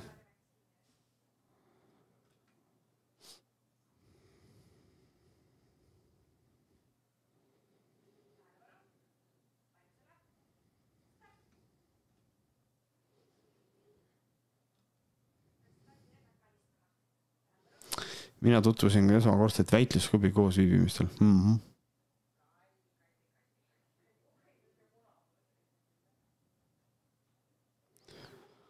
Lauristin pani meid poliitilise kommunikatsiooni aines selliseid äh, võtteid tekstist üles otsima, I slayed in this, sest vaatasin sinu striimi, see on mulle üllatus, et minust on abi olnud. reaalselt võiks olla õppekavas sees.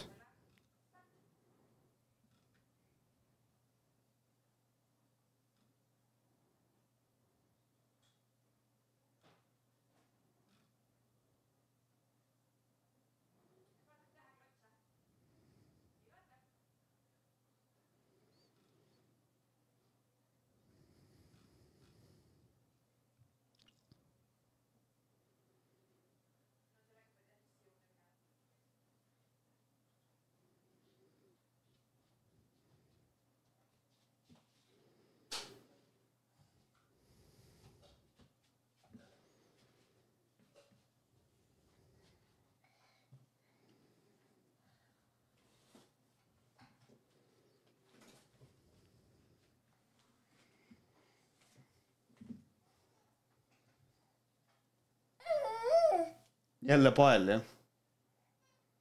täitsa pael. no anna siia. kuule, palun ära tee.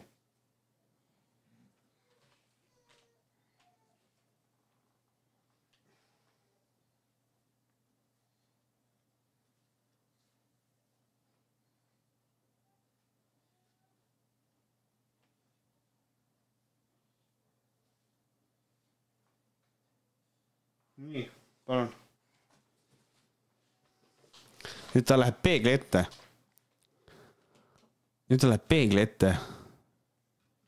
rebib selle ära peast. ja siis ta tuleb tagasi siia.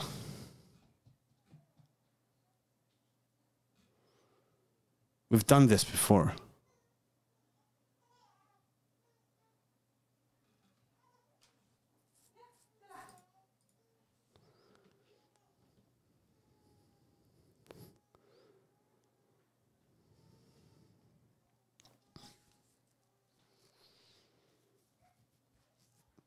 Tänu sulle on minu sõnavara nii palju rikkalikum, just sellised sõnad nagu devalveerima, degradeeruma ja nii edasi. kasutan neid ise kogu aeg, sorry. Sorry, aga ei, mul on hea kuulda, et minust kellelegi mingit abi ka on olnud. kuulge, kuulge, kas, kas Marek suri ära või? või mis tal juhtus? kas ta kaotas oma password'i ära? Või kas me kruumisime ära, ta nüüd, ta nüüd vahetas sugu ja ta leiab, et ta ei pea enam striimis käima või? ei, siis ta just tuleks siia. You changed me. Told you. tahad tagasi ümber pea või? ei taha või oh,? vabandust.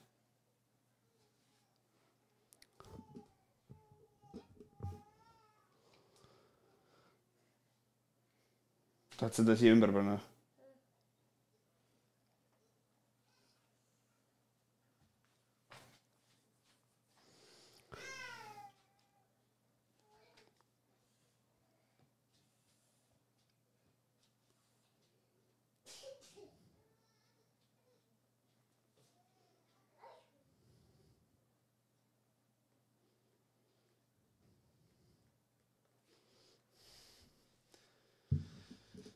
Ta on äkki naisega kohtingul, iga stream või? ei.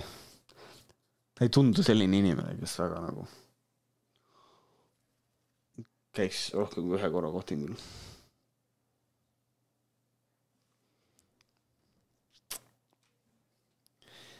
ma olen hästi skeptiline selliste inimeste suhtes, kes ähm, ma ei mäleta, kas see oli Rimwordi trait või? Siis mul oli mõte, ma tahaks teha Rimwordi äh, selle mängu, kus kohas äh, ma võtan nagu kümme inimest siit kommuunist, valin chat'ist välja kümme inimest või lasen hääletuse teha ja siis vaatan, kuidas nad saavad kommuunis nagu, kommuunis elamisega nagu hakkama. ja üks inimene, kes ma mõtlesin, võiks, võiks Marek olla ja siis ma Mareku puhul mõtlesin, et tal oleks hea, väga hea trait oleks too smart uh,, too smart ja abrasive. Too smart tähendab seda, et sa oled, noh, too smart on ninatark, on ju ja, ja ab- abrasive on lihtsalt nagu see, et noh, et täiesti taktitundetu inimene. et noh, ja see ei ole see, et ta on, tema on il-, et noh, Marek on ilmtingimata nende järgi, ei, aga see, aga see aitaks kaasa sellele, et ta siis käituks koloonias täpselt samamoodi, nagu ta käitub või nagu ta käitus striimis. et no iga asja kohta on midagi öelda. Ja siis kõik on. Because it creates drama ja see oleks cool siis paneks kaso ka, paneks, et on psychopath ja paneb asju põlema. näiteks või kannibal, midagi sellist.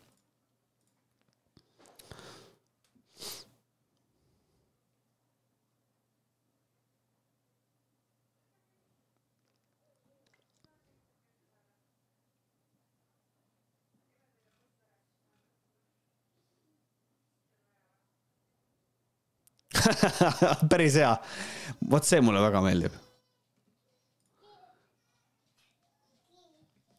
paarid kurdavad, et noored ei joo enam nii palju alkoholi, ka joogitootjad on teatavat muutust märganud. I love this.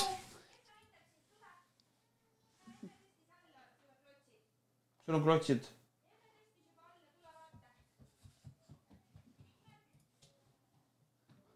Armin ütleb, jõu Märt, jõu.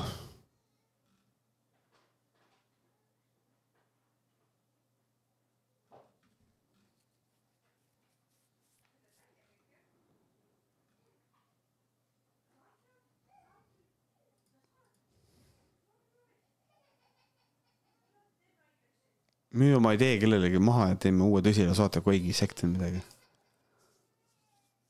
see ei ole mitte midagi uut.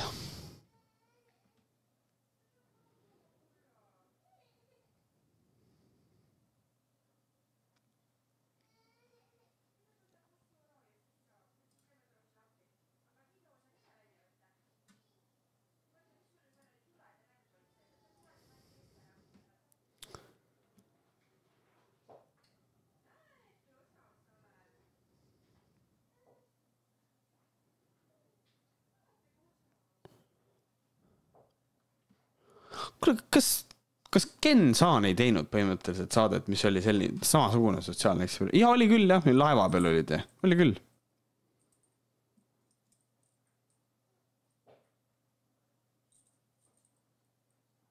ma pole varsti üks kaheksa aastat joonud.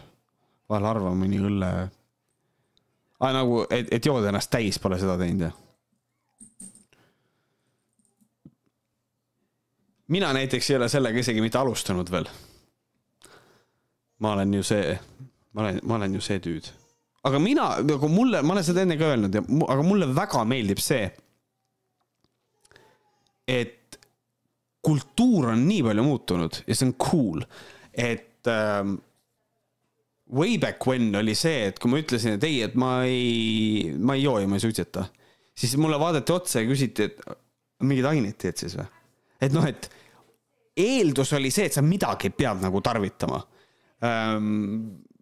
paar korda küsiti, vana hea, paar korda küsiti seda, et mis sul viga on siis või nagu no või, või midagi sellist aga nüüd viimastel aastatel, kui mul on mingis kontekstis, ma olen seda pidanud ütlema, siis äh, vaadatakse otsa, öeldakse lahe.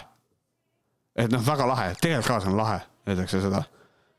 et see on nagu, mul on, mul on selle üle nagu hea meel, et äh, kui sa oled nagu otsustanud, et noh, et ma ei taha olla purjus või ma ei taha nagu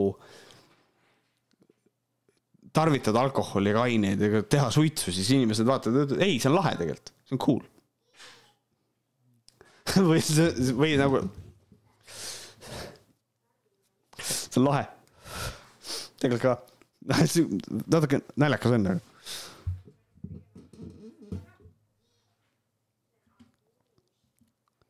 Elus kaks korda nii olnud, mitte kunagi enam ei joo.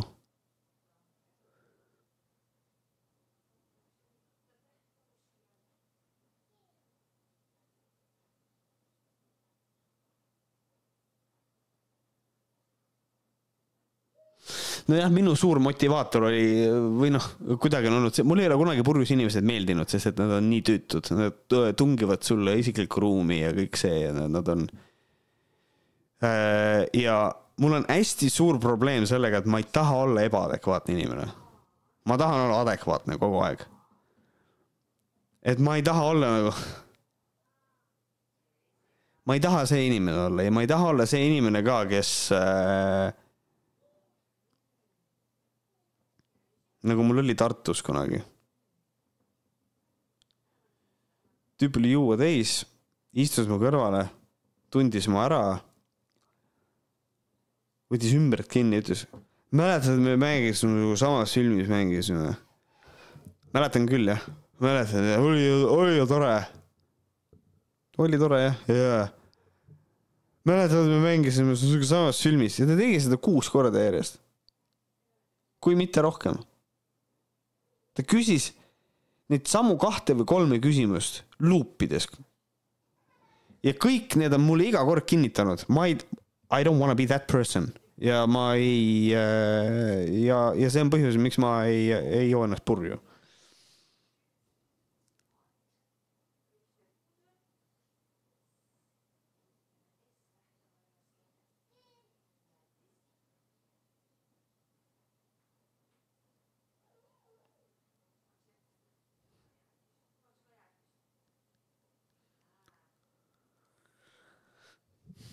Poolteist aastat mitte suitsetamist saab varsti täis.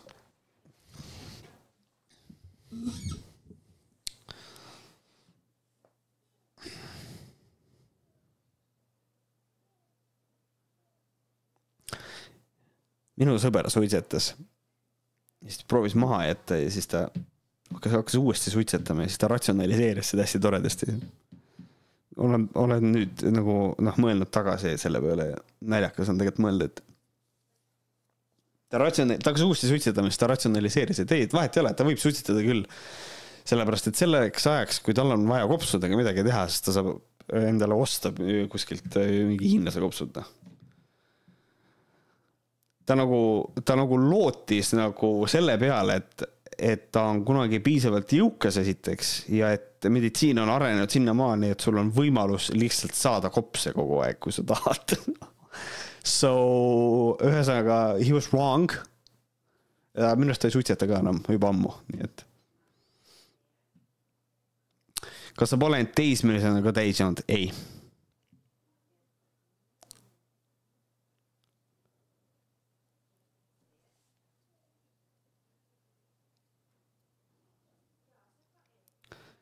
ma isiklikult olen jooja ja vihkan ka selliseid, kes kordama hakkavad, mine koju, sul on küll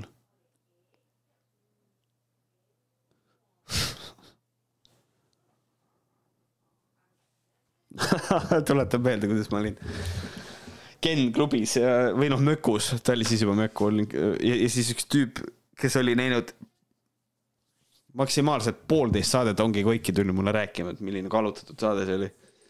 siis, kui ma hakkasin talle nagu vastu ajama, ütlesin talle, et noh, see jutt on pseudointellektuaalne, et sellepärast, et sul tuleb ju noh, et sa teed äh, sa teed üldistuse terve saate kõikide osade kohta, olles näinud ainult äh, sisuliselt ainult ühte saadet tervikuna. Ja siis ta tõstis mu peale häält, ütles, ära hakka meid praegu siin närvi ajama. siis ma küsisin ta käest, mis siis saab, kui ma sind närvi ajan?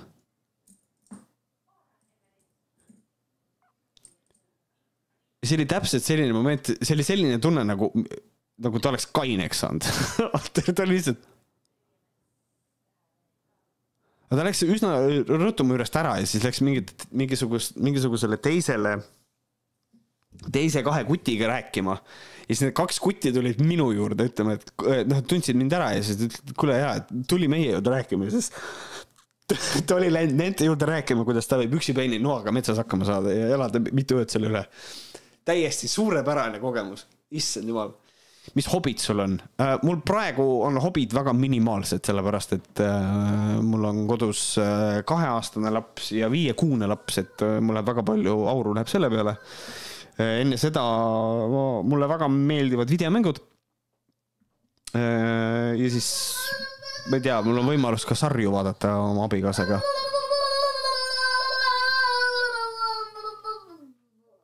lastest rääkides.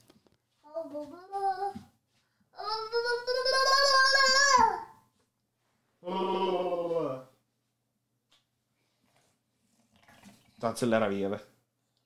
ei taha.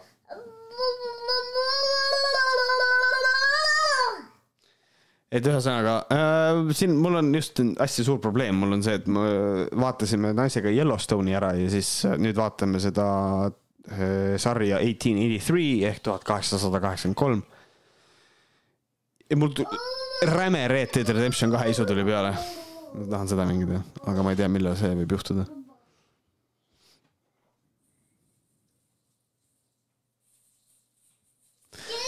Meenutab veits selle ühe veidriku argumenti, Märt, sa pole, sa polegi mees, sest sa pole kunagi suitsu proovinud. issand, ma isegi ei mäleta, kas see oli keegi chatis või, või mingi video all või? issand jumal. ja jah, nagu meheks olemise, nagu meheks olemise mingisugune üks äh, proovikivi peab olema see, et sa pead olema suitsu teinud mis on nagu naljakas, sest et see tähendab seda, et kui me läheme kultuuriliselt nagu ajas tagasi, siis kiviaeg on ju, kus räägitakse, siis olid õiged mehed üldse, käisid jahil ja kõik, okei okay,, aga keegi neist ei teinud tobitüra nagu mis, what, et see on jah, see on hästi veider jah.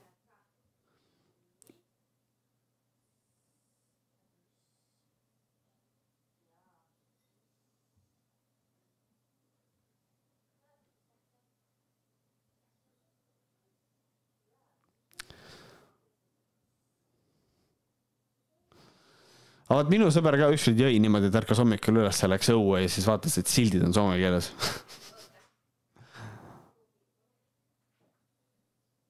kui viimane laps vähemalt kolm, siis saavad ka hobid tagasi tulla vaikselt.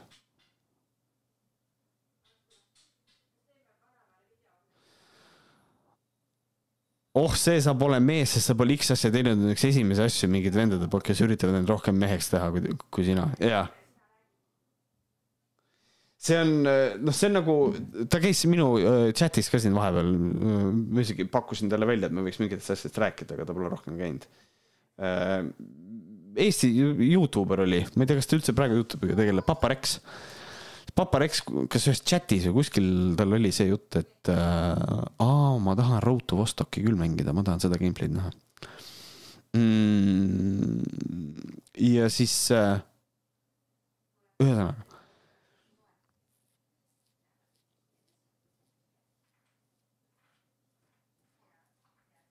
ja siis minu arust see oli Papareks, kes rääkis seda, et ähm,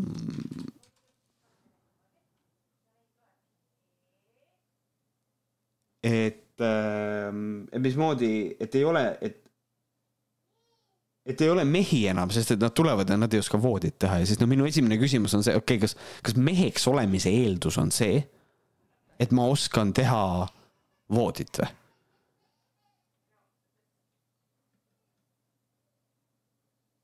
Aa ei, ta ei tee enam vist, tal on kaks aastat tagasi on viimane video üles pandud, aga äkki ta teeb laivi? ei.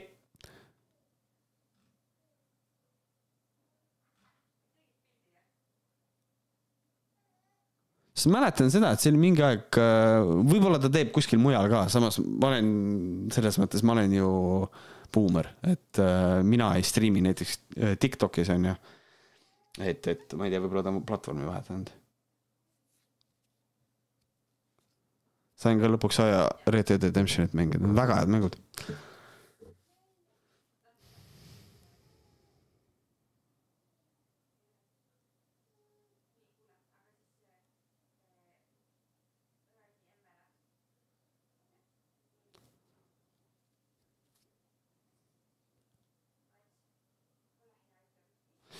ta uus töö on selline, et ta ei saa olla enam online, nagu ta oli.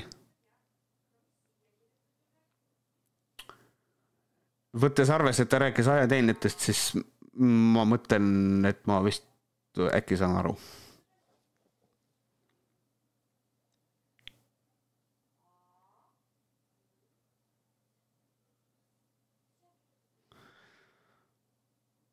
peaks ka ütlema, ülbõetelu tõusu pole mees, sest mul on umbes kümme kü- küberturve serti ja sul pole. See meheks olemise tõestamine on any man who must say I am king is no true king, jaa, jah. kui keegi peab päris tõsiselt hakkama ütlema, mina olen ikka kõve, nagu mina olen kõvem mees, siis see on lihtsalt nagu bro. meheks olemine on hästi lihtne do your thing, shut the fuck up. ma võin olla megalt mitte nõus kellega iganes, Vooglaiuga, ma ei tea, kuradi kellega iganes, savi, aga ma ei lähe ütlema talle, et ta ei ole mees. see ei ole minu asi. I don't, I don't care about shit like that, see on nii, see on nii basic. see on nii basic, see on nii mõttetu mille jaoks ma pean siukest asja tegema? nagu see, nagu see on see ründepunkt, sest et see on oma olemuselt, see on ad hominem, noh, see on see, et sa ei ole mees. okei okay,, esiteks maybe, maybe I m not äh,, aga sisuliselt, mis sa tahtsid mulle vastu öelda, noh, seal on, tekib lihtsalt nagu see.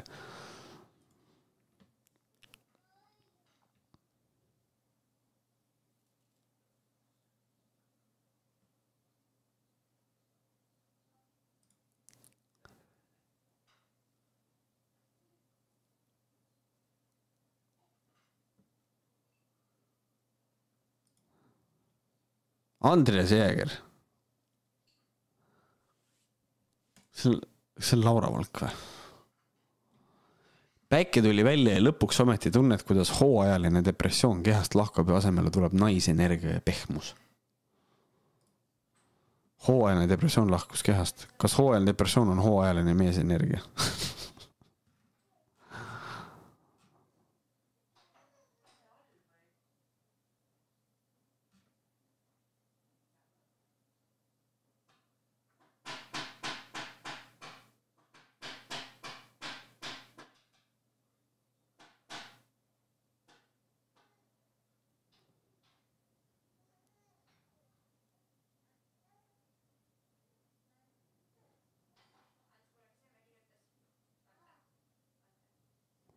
tere, see ei ole võimalik.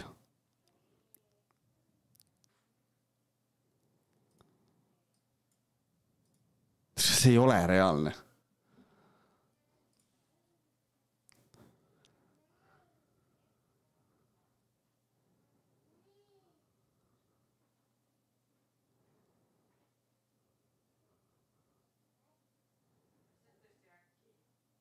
Et see luuk üldse siukse koha peal on, püha issand jumal küll.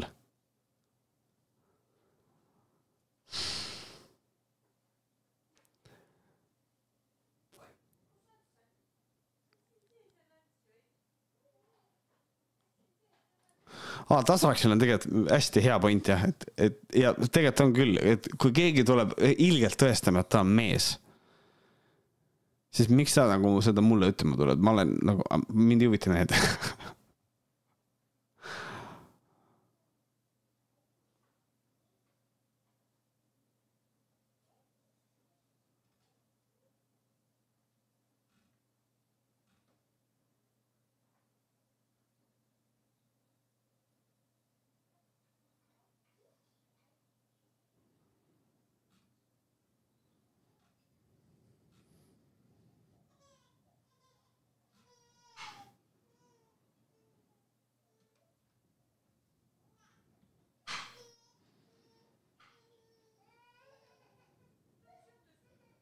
kui tunneb, et ise ei ole, siis ründab teisi sellega, et sa pole mees. no ja vot seesama, kellest ma rääkisin, kes käis seal Kennis, no see oli no elementaarne näide. et kellelgi nagu millegipärast tal oli vaja tulla tõestama teistele nagu kahele noorele kutile, et ta saab metsas noaga, saab hakkama üksipäini, jääb elama, tore, ilgelt tore. sa oled keset Tartu linna kõrtsis ja jood. Who the fuck cares?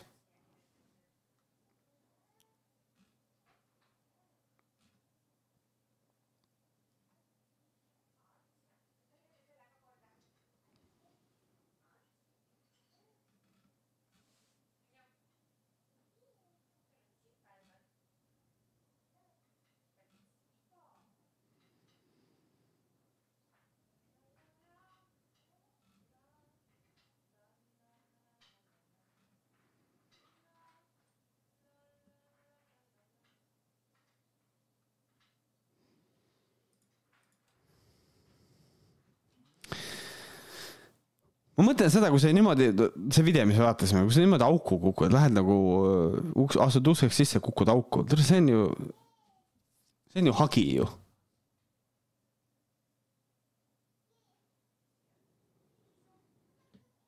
see on ju hagi ju. Jesus Christ.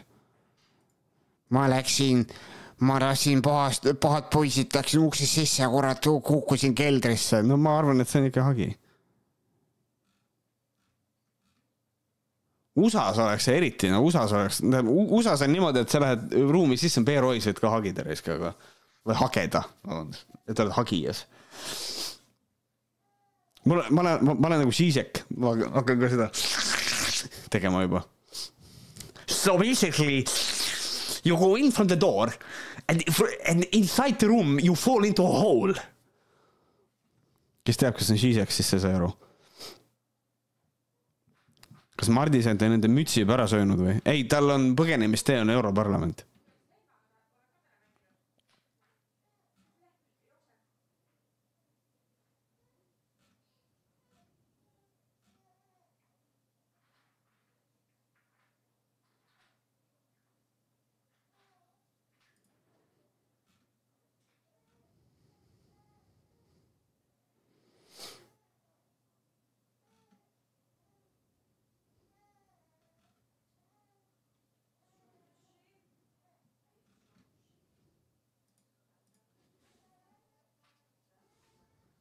ideaalne Slavoj Žižek impression. You just have to slur your fucking words, see ei ole üldse raske.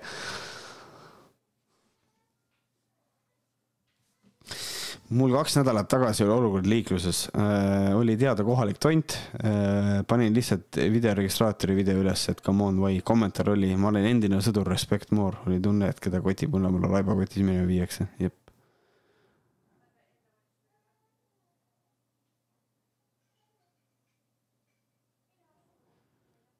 Nüüd ju vabandused rääkis Krahtist.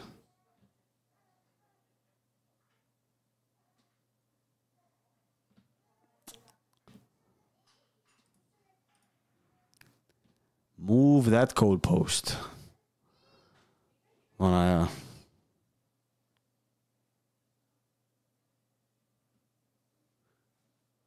miks see mul on recommended'is, mis asi see on ja miks? Mis asi see on, miks see siin on, miks see mulle recommended'isse tuli?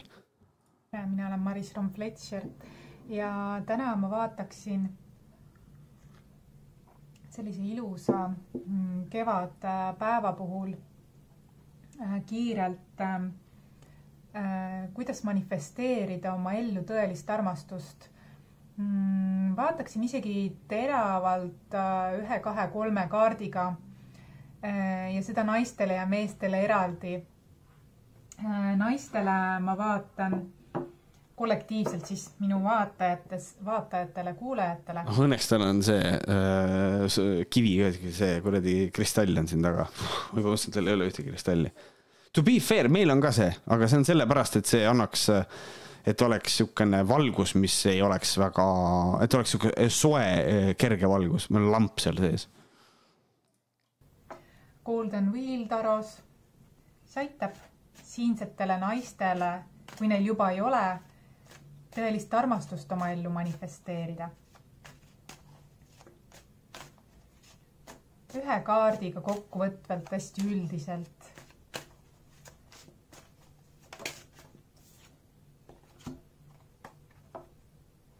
võtan ühe, võtan, ma võtan isegi kaks veel, tunnen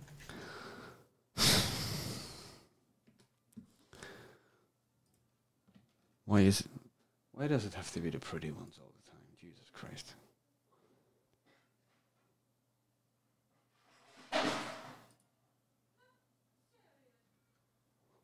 Holy shit, tal on ikkagi, tal on ikkagi content'i on normaalselt. kanaldamine ka jah. mis lihtsalt lendas mulle recommended'isse, kuidas manifesteerida oma ellu armastust, holy shit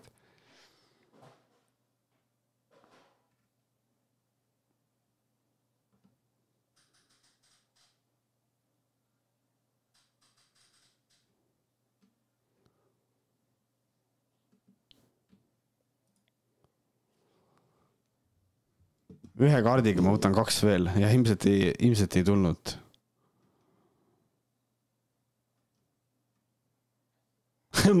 ma lihtsalt uh, stumbled upon a rabbit hole.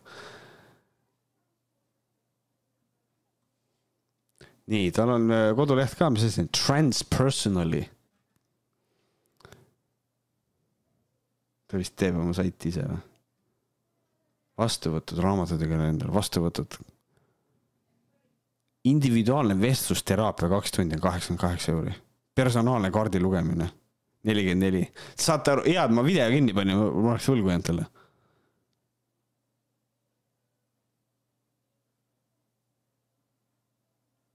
kui otsida oma raamatule kirjastajat, käsikiri, toimetus, korrektuur, kujundus, trükk, müük, saan sind aidata.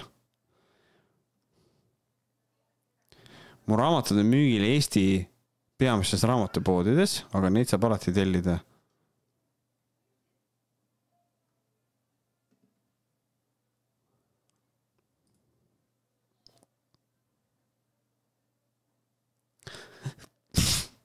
seitsme põlve müsteerium, Ants Rootslane, aga mulle meeldib rohkem viie põlvkonna pojeng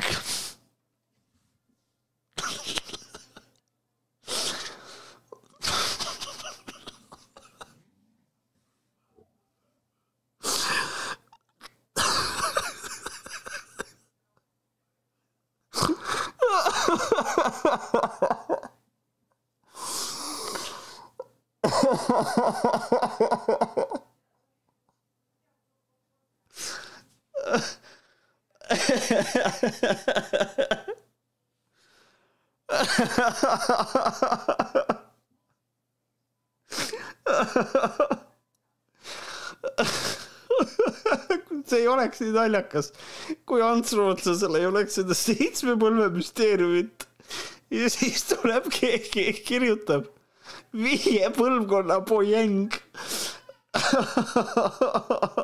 ma ei kannata seda välja. see ei ole reaalne. oh my god oh. viie põlvkonna pojeng äh.. tegelikult ei ole naljakas, see on viie põlvkonna pojeng. nii, ja siin on the